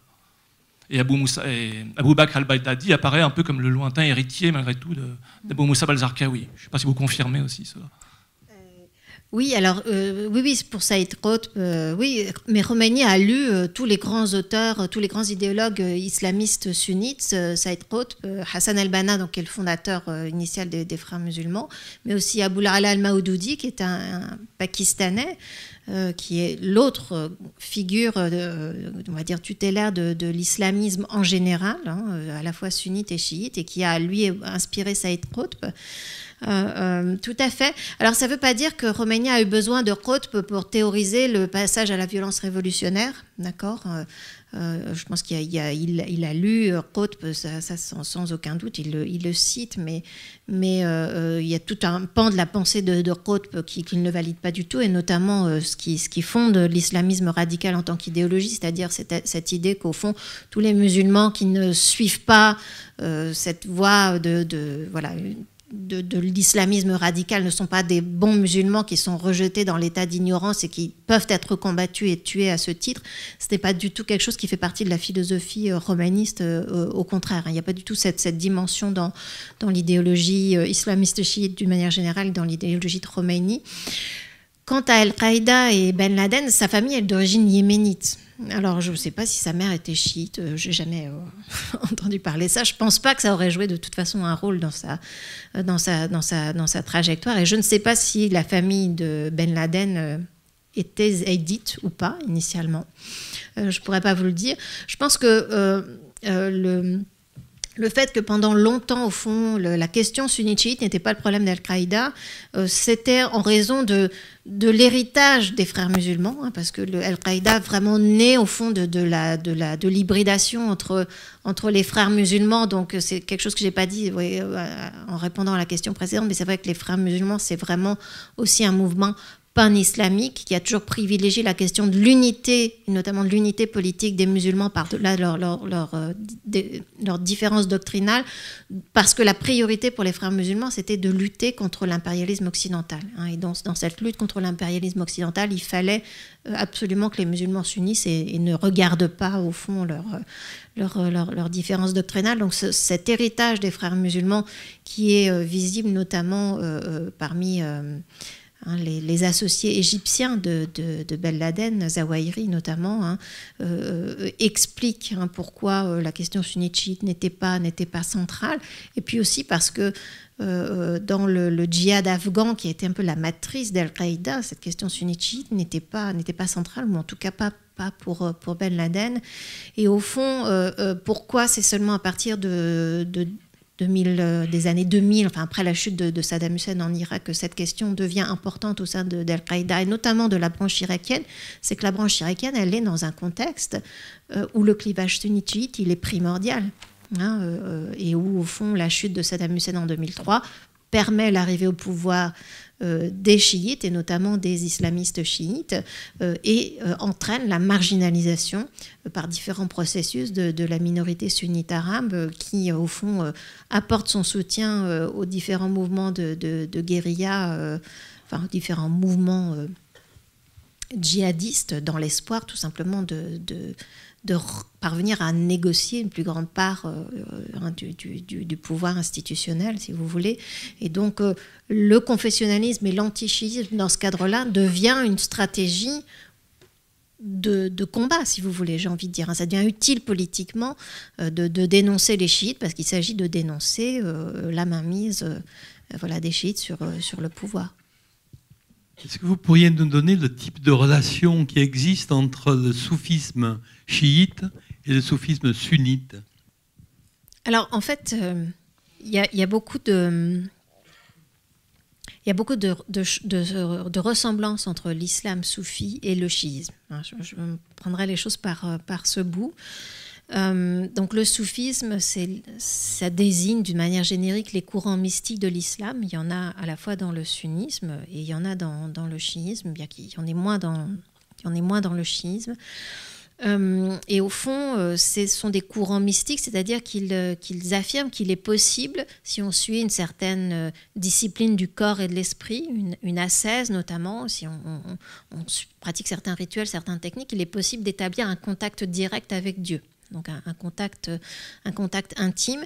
Et donc ces, courants mystiques suivent des, méthodes, si vous voulez, qui sont, euh, qui sont euh, qui ont été fondés par des, saints soufis, hein, qui, sont, qui ont fondé voilà, les confréries soufis. Et donc, euh, une première ressemblance avec les chiites, c'est que euh, les, soufis effectuent des pèlerinages sur la tombe de ces, de ces saints, avec des, pratiques qui ressemblent énormément à, celles des pèlerinages chiites sur la tombe des imams.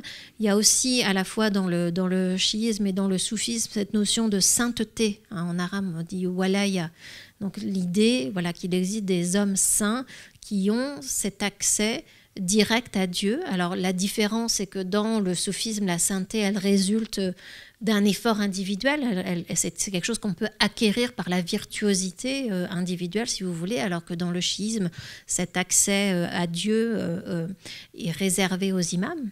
Hein. Euh, donc c'est quelque chose qui est hérité, c'est quelque chose qu'on ne, peut pas acquérir.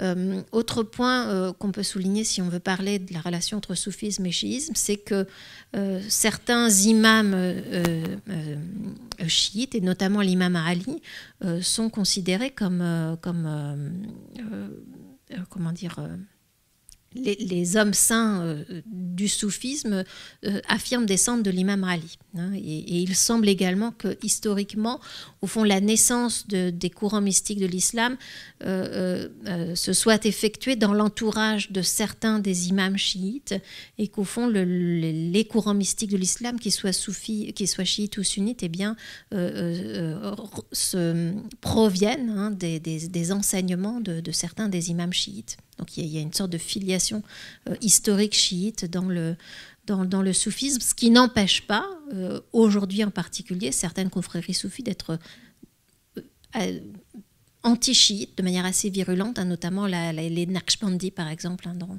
le sous-continent indien. Bonsoir, merci pour votre intervention. Moi, je voulais apporter une petite précision que j'aimerais que vous confirmiez. Quand vous parlez de l'exportation euh, de la révolution iranienne à partir de 1979, cette prétention de l'Iran d'exporter sa révolution, euh, bon, il y avait cette prétention, mais je pense que l'agression, elle est venue de l'Irak par rapport à la guerre. C'est l'Irak qui a attaqué euh, l'Iran. Ensuite, deuxième, enfin ma question, vous parliez de deux empires, l'empire ottoman et l'empire safavide, et on a vu dans dans les, euh, les, cartes que vous avez présentées qu'il y avait des communautés euh, chiites dans l'Empire euh, ottoman. Quel était leur statut? Est-ce qu'elles étaient persécutées? Parce que maintenant, actuellement, par exemple, dans le Maghreb, moi je le vois en Algérie, par exemple, il y a, il y a des Ahmadites qui sont désignés même par, par des institutions de l'État comme des gens qu'il faut combattre, qu'il faut éliminer et tout. Merci.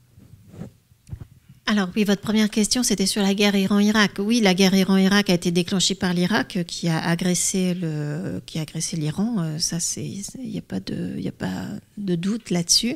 En même temps, la, doctrine de l'exportation de la révolution, qui était un pilier de la politique étrangère euh, iranienne durant une bonne partie des années 80, en tout cas jusqu'en 88, n'est pas liée à la guerre Iran-Irak.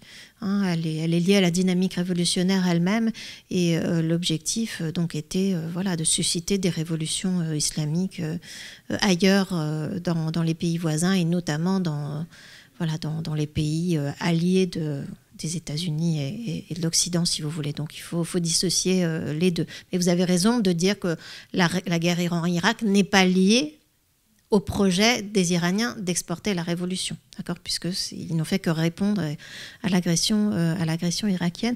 La deuxième partie de votre, deuxième question était sur ah oui les, les communautés chiites dans l'Empire ottoman. Euh, alors en fait, l'Empire ottoman euh, était un empire multiconfessionnel euh, euh, multi-ethnique, multilinguistique, euh, dans lequel la différence religieuse était reconnue et institutionnalisée, mais seulement la différence entre musulmans et non-musulmans. C'est-à-dire que les chrétiens et les juifs avaient le droit été reconnus en tant que communauté et puis avaient le droit à une certaine autonomie dans la gestion de, leurs affaires religieuses. Ils étaient protégés de l'État musulman et, ottoman et puis donc il y avait un certain nombre de restrictions qui s'imposaient à eux, mais euh, euh, voilà, mais, en même temps, voilà, ils avaient le droit de maintenir leurs différences religieuses. Dans le cas euh, des chiites et des différents courants issus des partisans de l'imam Ali, ce n'était pas du tout le cas, puisque au fond, puisque l'empire, l'État ottoman était un État musulman, il, ne, il ne reconnaissait pas, si vous voulez, le droit à la différence au sein des musulmans. Hein. L'islam sunnite, c'était l'islam officiel, c'était la doctrine officielle de l'État, et l'État avait tendance à percevoir euh, euh, les courants issus hein, de, des partisans de l'imam Ali comme des, euh, comme des dissidents, comme des éléments subversifs qu'il fallait, qu'il fallait contrôler. Hein. et donc, alors, les, politiques de l'État ottoman vis-à-vis de ces communautés chiites, elles ont été différentes en fonction des, circonstances, si vous voulez. Euh, euh, donc il n'y a pas eu de persécution systématique, mais on sait qu'il y a eu des périodes de, persécution. Les, chiites libanais en gardent un, euh, souvenir hein, jusqu'à jusqu'à présent, au XVIIe siècle notamment. Il y a eu un 17e et 18e plusieurs vagues de persécution des, communautés chiites qui sont aujourd'hui au sud du Liban, qui ont amené notamment à des migrations de, savants religieux du Liban vers l'Iran en particulier. voilà les Alaouites, qui sont une, communauté donc issue des partisans de Ali qui vivent euh, dans le nord de la Syrie et dont la famille Al-Assad est issue en fait, hein, euh, aussi cette, mémoire des persécutions, euh, des persécutions ottomanes, puisque les Alaouites étaient accusés de tas de mots, dont d'avoir aidé les croisés du temps des croisades, etc. Donc voilà, en effet. Donc, mais, on pourrait dire qu'au fond, la politique des Ottomans vis-à-vis des chiites, elle a été dictée par les circonstances, si vous voulez. Il y avait, il y avait cette, idée générale qu'ils étaient des éléments subversifs, mais c'est pas pour ça qu'il y avait des persécutions systématiques. Ça dépendait du contexte politique intérieur et géopolitique, et de la même manière euh, que la politique ottomane vis-à-vis des chrétiens et des juifs a varié Hein, aussi dans le temps, en fonction des, notamment de l'évolution des relations entre l'Empire ottoman et les puissances européennes. Oui, comment expliquez-vous ce qui semble être la neutralité du sultanat d'Oman? Qui parle je... D'accord, oui, très bien, je vous ai S'il vous plaît? Oui, oui, oui. Euh, la neutralité du... Alors, euh, comment expliquer la neutralité du sultanat d'Oman? Euh, dans La neutralité dans, le, dans le conflit actuel, si vous voulez, dans la guerre froide entre, entre l'Arabie saoudite et l'Iran, j'imagine. Euh, ça s'explique essentiellement parce que les Omanais euh, se méfient énormément du, des, de l'hégémonie saoudienne. Hein, dans la péninsule arabique, donc tiennent à préserver une certaine indépendance. Euh, sont extrêmement méfiants aussi vis-à-vis de voilà des, doctrines religieuses que l'Arabie saoudite exporte, hein, et notamment du, salafisme. Euh, le sultan d'Oman et la famille royale euh, d'Oman n'est pas sunnite, n'est pas chiite, elle est ibadite. En fait, c'est un courant, c'est une sorte de troisième courant de, de l'islam qu'on qui est assez peu répandu aujourd'hui. Il n'y a, a qu'en Oman où, au fond il y a, autant d'ibadites aujourd'hui. Euh, et la politique religieuse du, sultanat d'Oman et du sultan Qaboos euh, en particulier, qui règne depuis 1970, c'est vraiment une politique, encore une fois, c'est une politique de promotion d'un islam générique, euh, mais qui a quand même une forte coloration ibadite. en même temps, je ne suis pas sûre que l'identité religieuse du royaume explique sa neutralité. Je pense aussi que sa neutralité donc s'explique, comme je le l'expliquait par, par euh, sa méfiance vis-à-vis de, de, l'hégémonie saoudienne, mais aussi euh, par les, très bonnes relations que le sultanat d'Oman entretient avec l'Iran. Euh, du temps de la monarchie, les Iraniens, de la monarchie en Iran, donc du Shah d'Iran, les Iraniens avaient envoyé des, soldats, des troupes pour aider les Omanais à mater une, rébellion dans le sud du pays, une rébellion marxiste dans le, dans le, dans le Dhofar.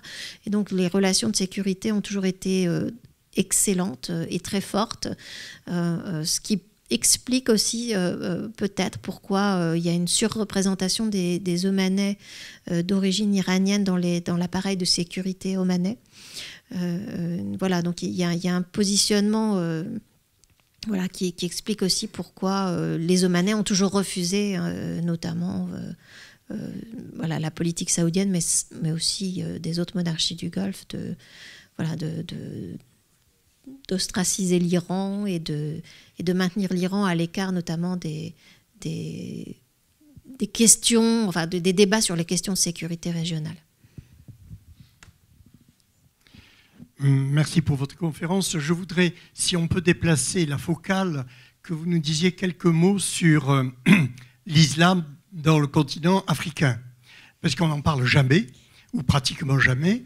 c'est un islam sunnite, mais très marqué par les confréries. Mais on voit bien qu'il y a des points d'accrochage avec des mouvements euh, euh, révolutionnaires ou qui s'affirment comme tels, qui prennent place ou qui prennent pas.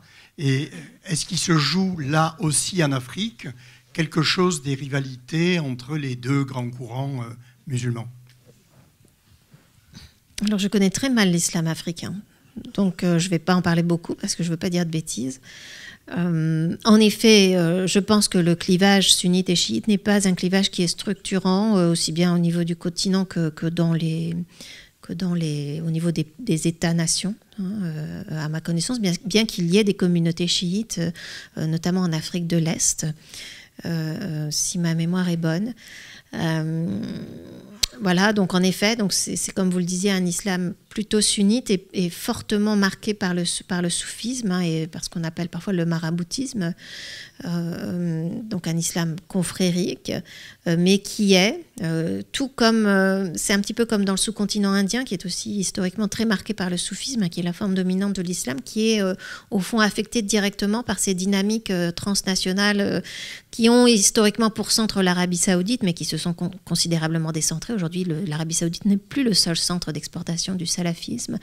donc au fond, cette, guerre froide entre l'Arabie saoudite et l'Iran, qui commence en 1979, accentue la, volonté de l'Arabie saoudite voilà, de, tisser ses propre réseau euh, islamique, si vous voulez, et, l'Afrique est devenue euh, l'une des, cibles comme, comme d'autres régions, et donc subit cette influence d'un islam qui est au départ exogène hein, à, l'islam africain, mais qui... Euh, qui, qui, prend racine. Alors, je ne enfin, pense pas qu'on puisse parler d'un islam majoritaire, Dieu merci, mais qui génère, voilà, en effet, des, des, des, problèmes graves hein, dont on a tous entendu parler.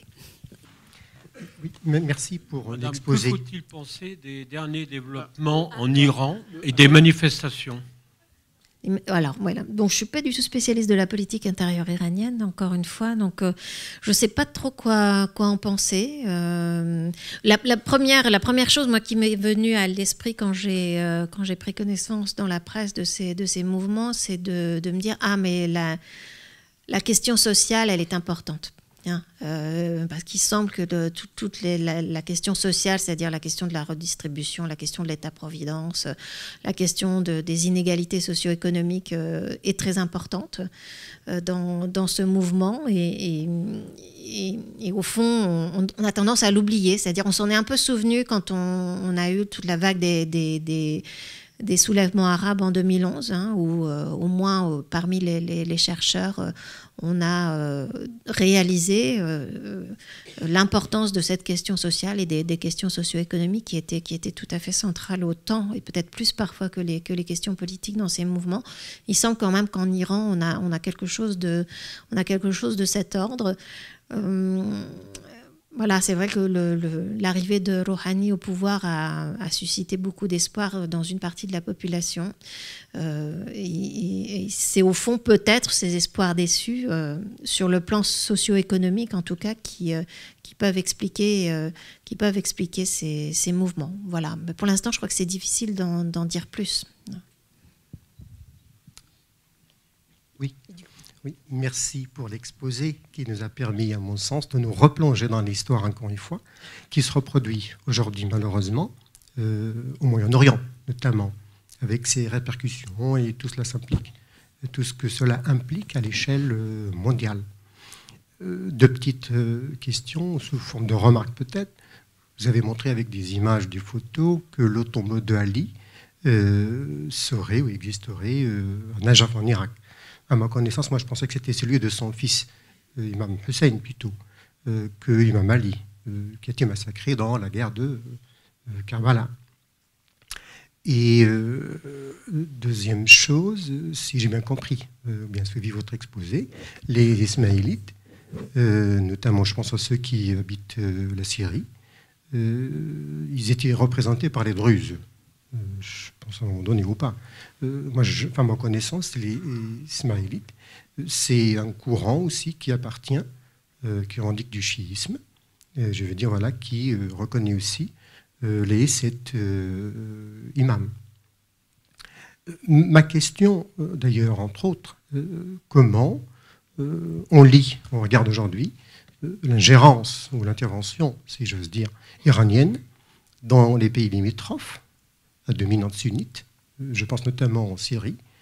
Est-ce que vraiment c'est sous forme de revendication identitaire à l'échelle régionale ou c'est sur fond d'une politique dessinée, qui se redessine euh, dans la région, ou c'est lié vraiment à une idéologie autre, ou c'est les deux à la fois? Merci. Alors pour le, pour le tombeau, le tombeau de l'imam Ali se trouve à Najaf, le tombeau de l'imam Hussein à Karbala, logiquement. Hein. Euh, il y avait une deuxième euh, remarque.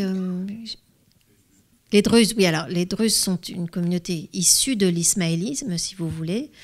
Euh, autant, je pense que la plupart des musulmans seraient d'accord pour dire que les Ismaéliens sont musulmans, autant pour les Druzes, il y a un énorme doute.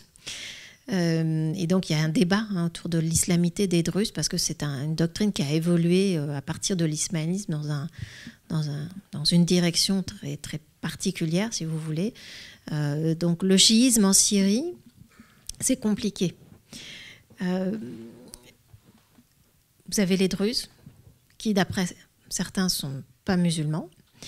Euh, vous avez les Alaouites, dont sont issus la famille El-Assad, qui gouverne euh, la Syrie depuis 1970. Et avant euh, Hafez el-Assad, donc le père de Bachar, c'était aussi une faction issue, enfin, dans laquelle beaucoup d'alaouites étaient représentés. Hein, qui, donc le, phénomène, euh, enfin le fait politique alaouite en Syrie, on, pourrait dire, euh, date des années 60, hein, si vous voulez.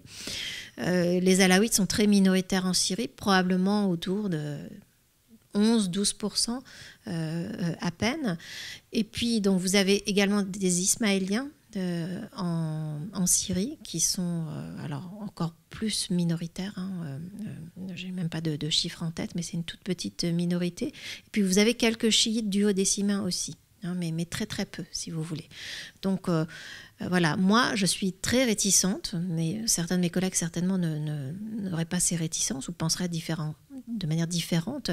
Je pense que il est ça ne, ça ne, nous aide pas à réfléchir, de dire que les Druzes, les Ismaéliens, euh, les Alaouites, les Zaïdites sont des chiites.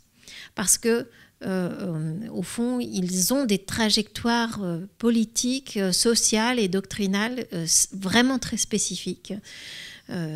et penser, parce que quand on dit au fond ils sont chiites, c'est dans le contexte actuel, euh, dire que les Haïdites, par exemple, du Yémen, euh, sont chiites, c'est une manière de disqualifier leurs revendications.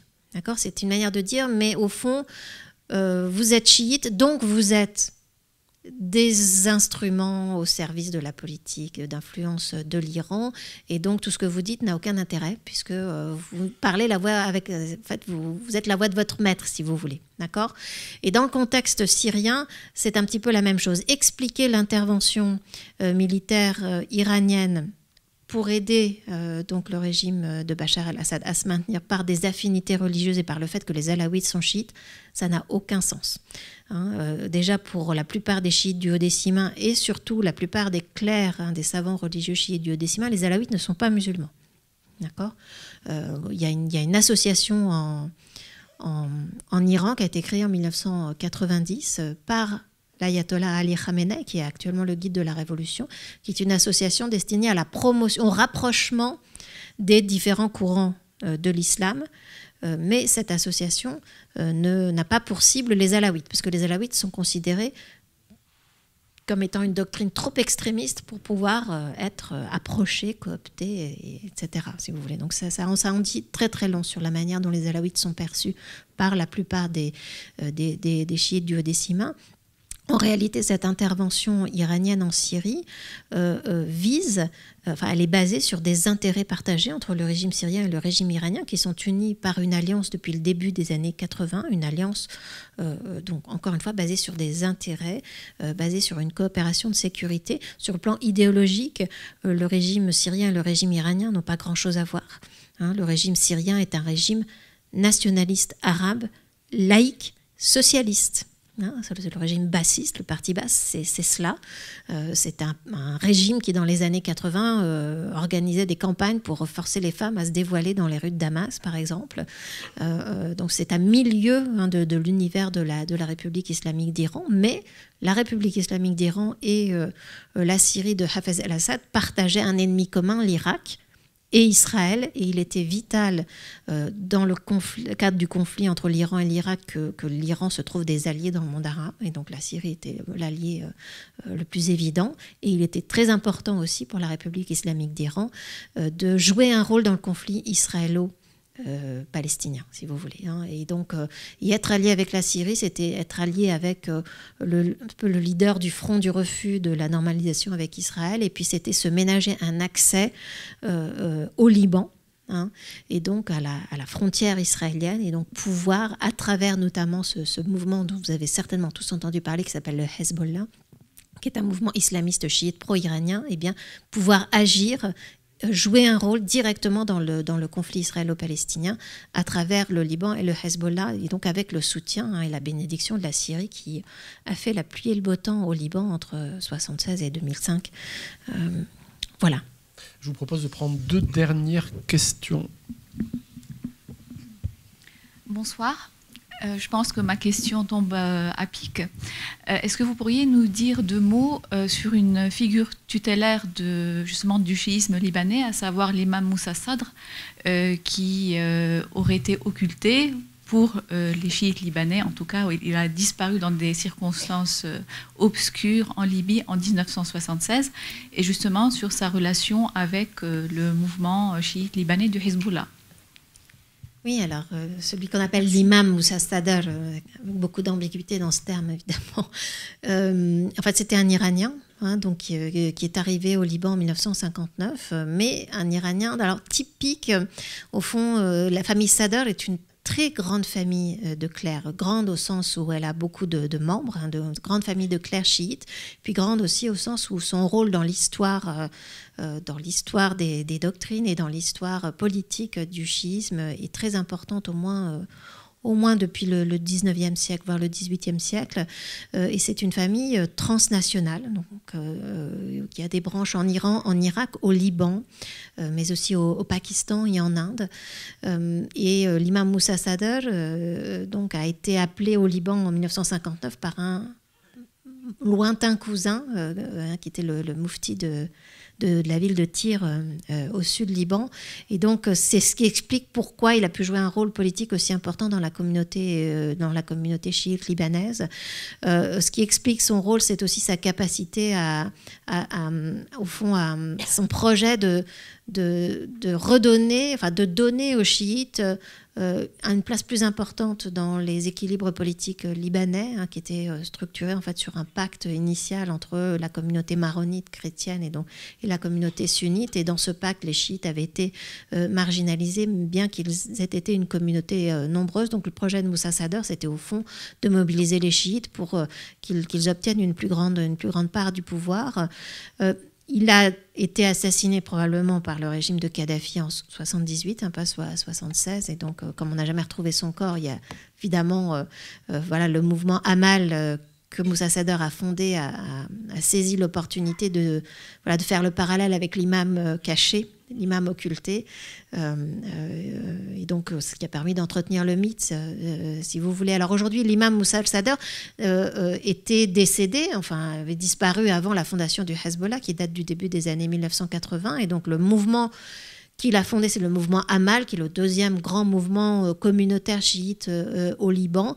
Mais en même temps, c'est une figure qui est aussi revendiquée par le Hezbollah libanais. hein, en tant que figure combattante ayant mobilisé voilà, la communauté chiite. Mais, il est mort avant, avant la révolution iranienne, en fait. Hein. Donc il n'a pas participé du tout à, à l'établissement de cette relation si étroite entre, entre les chiites libanais et puis, et puis l'Iran.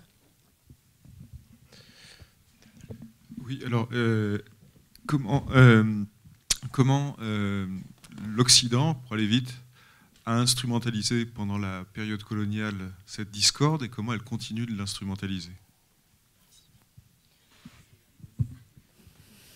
Euh, Alors, je ne crois pas qu'on puisse parler d'une instrumentalisation. du clivage entre sunnites et chiites par les pouvoirs coloniaux. Je suis en train très rapidement de faire oui, oui, oui. Euh, ce qui est certain, euh, c'est que, euh, je prends deux exemples, le Liban, mandat français, l'Irak, mandat britannique. Alors dans le cas, si dans le cas, dans le cas français, oui, dans le cas libanais, oui, on peut parler. Il y, a, cette dimension, en effet. Hein. donc les Français avaient le, mandat sur la Syrie et le Liban. ils étaient chargés de d'amener euh, cette région à l'indépendance nationale, euh, c'était leur objectif. Et donc au fond, pour casser le mouvement nationaliste arabe qui euh, avait pour objectif de créer notamment une grande Syrie hein, qui aurait réuni le, Liban et la Syrie, c'est vrai que les Français ont joué sur le clivage sunnite-chiite en, faisant entrevoir aux chiites que au fond, s'ils soutenaient le, les autorités coloniales et le projet d'un État libanais, donc différent d'un État syrien, eh bien, il, se verrait reconnu euh, pour la première fois euh, le statut de communauté confessionnelle à part entière, avec le droit d'avoir notamment leurs propres tribunaux religieux, euh, donc c'est-à-dire des, tribunaux qui jugent des affaires familiales, notamment euh, sur la base du droit religieux chiite, alors qu'auparavant, la réalité était hein, que seuls euh, des tribunaux religieux sunnites existaient et que, au moins sur le plan institutionnel, hein, dans les faits, il y avait une très large autonomie pour des tas de raisons sur le plan local, eh bien, euh, les seuls tribunaux musulmans qui existaient, c'était des tribunaux qui jugeaient sur la base du droit religieux euh, euh, sunnite, si vous voulez. Donc, et c'est ce que les Français ont fait effectivement. c'est eux qui, pour la première fois, au, fond, c'est eux qui ont créé les chiites libanais, j'ai envie de dire. Hein, ça, c'est quelque chose qui était, qui était, assez connu avant la période coloniale au Liban. L'identité de ceux qui sont aujourd'hui les, les chiites au Liban, elle était floue on les appelait pas les chiites, on les appelait les Metouali, qui était un, comment dire, un, terme euh, euh, extrêmement péjoratif qui désignait des gens dont on ne savait pas très bien qui ils étaient. Euh, donc il y a certains récits de voyageurs qui, qui, qui, les décrivent comme des Iraniens, parlant une langue, une espèce de dialecte qu'on ne connaît pas très bien, leur identité religieuse n'était pas claire euh, non plus.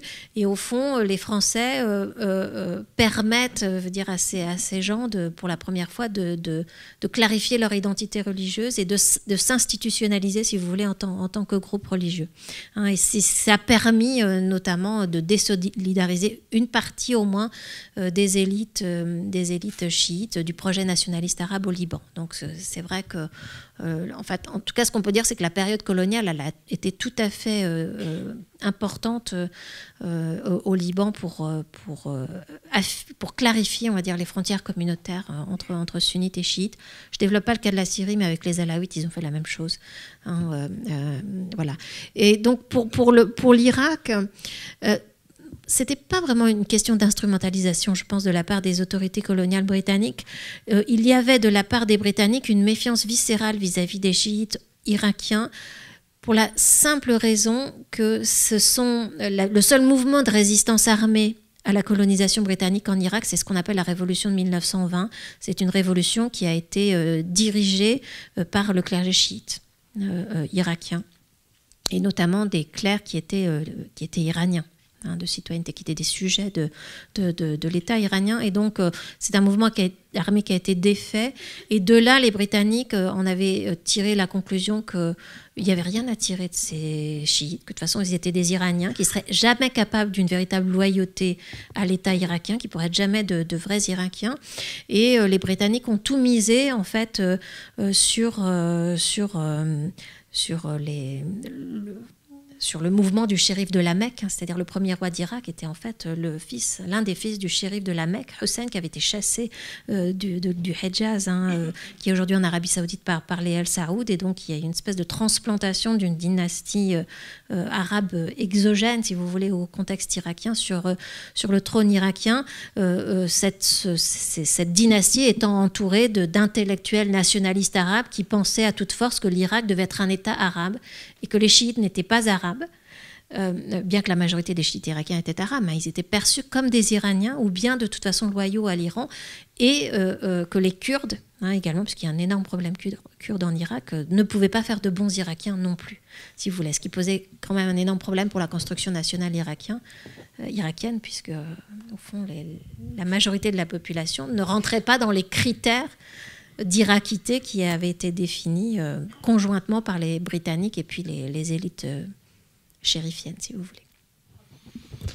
Avant de donner la parole à Régis, qui je crois doit faire l'annonce pour la prochaine séance, deux petites remarques euh, sur le livre. Je trouve que c'est un livre particulièrement utile. Il y a, il y a deux, trois choses peut-être à dire ce qui est intéressant dans le livre, et mon métier n'est pas du tout d'en faire de la publicité. Hein, c'est pas.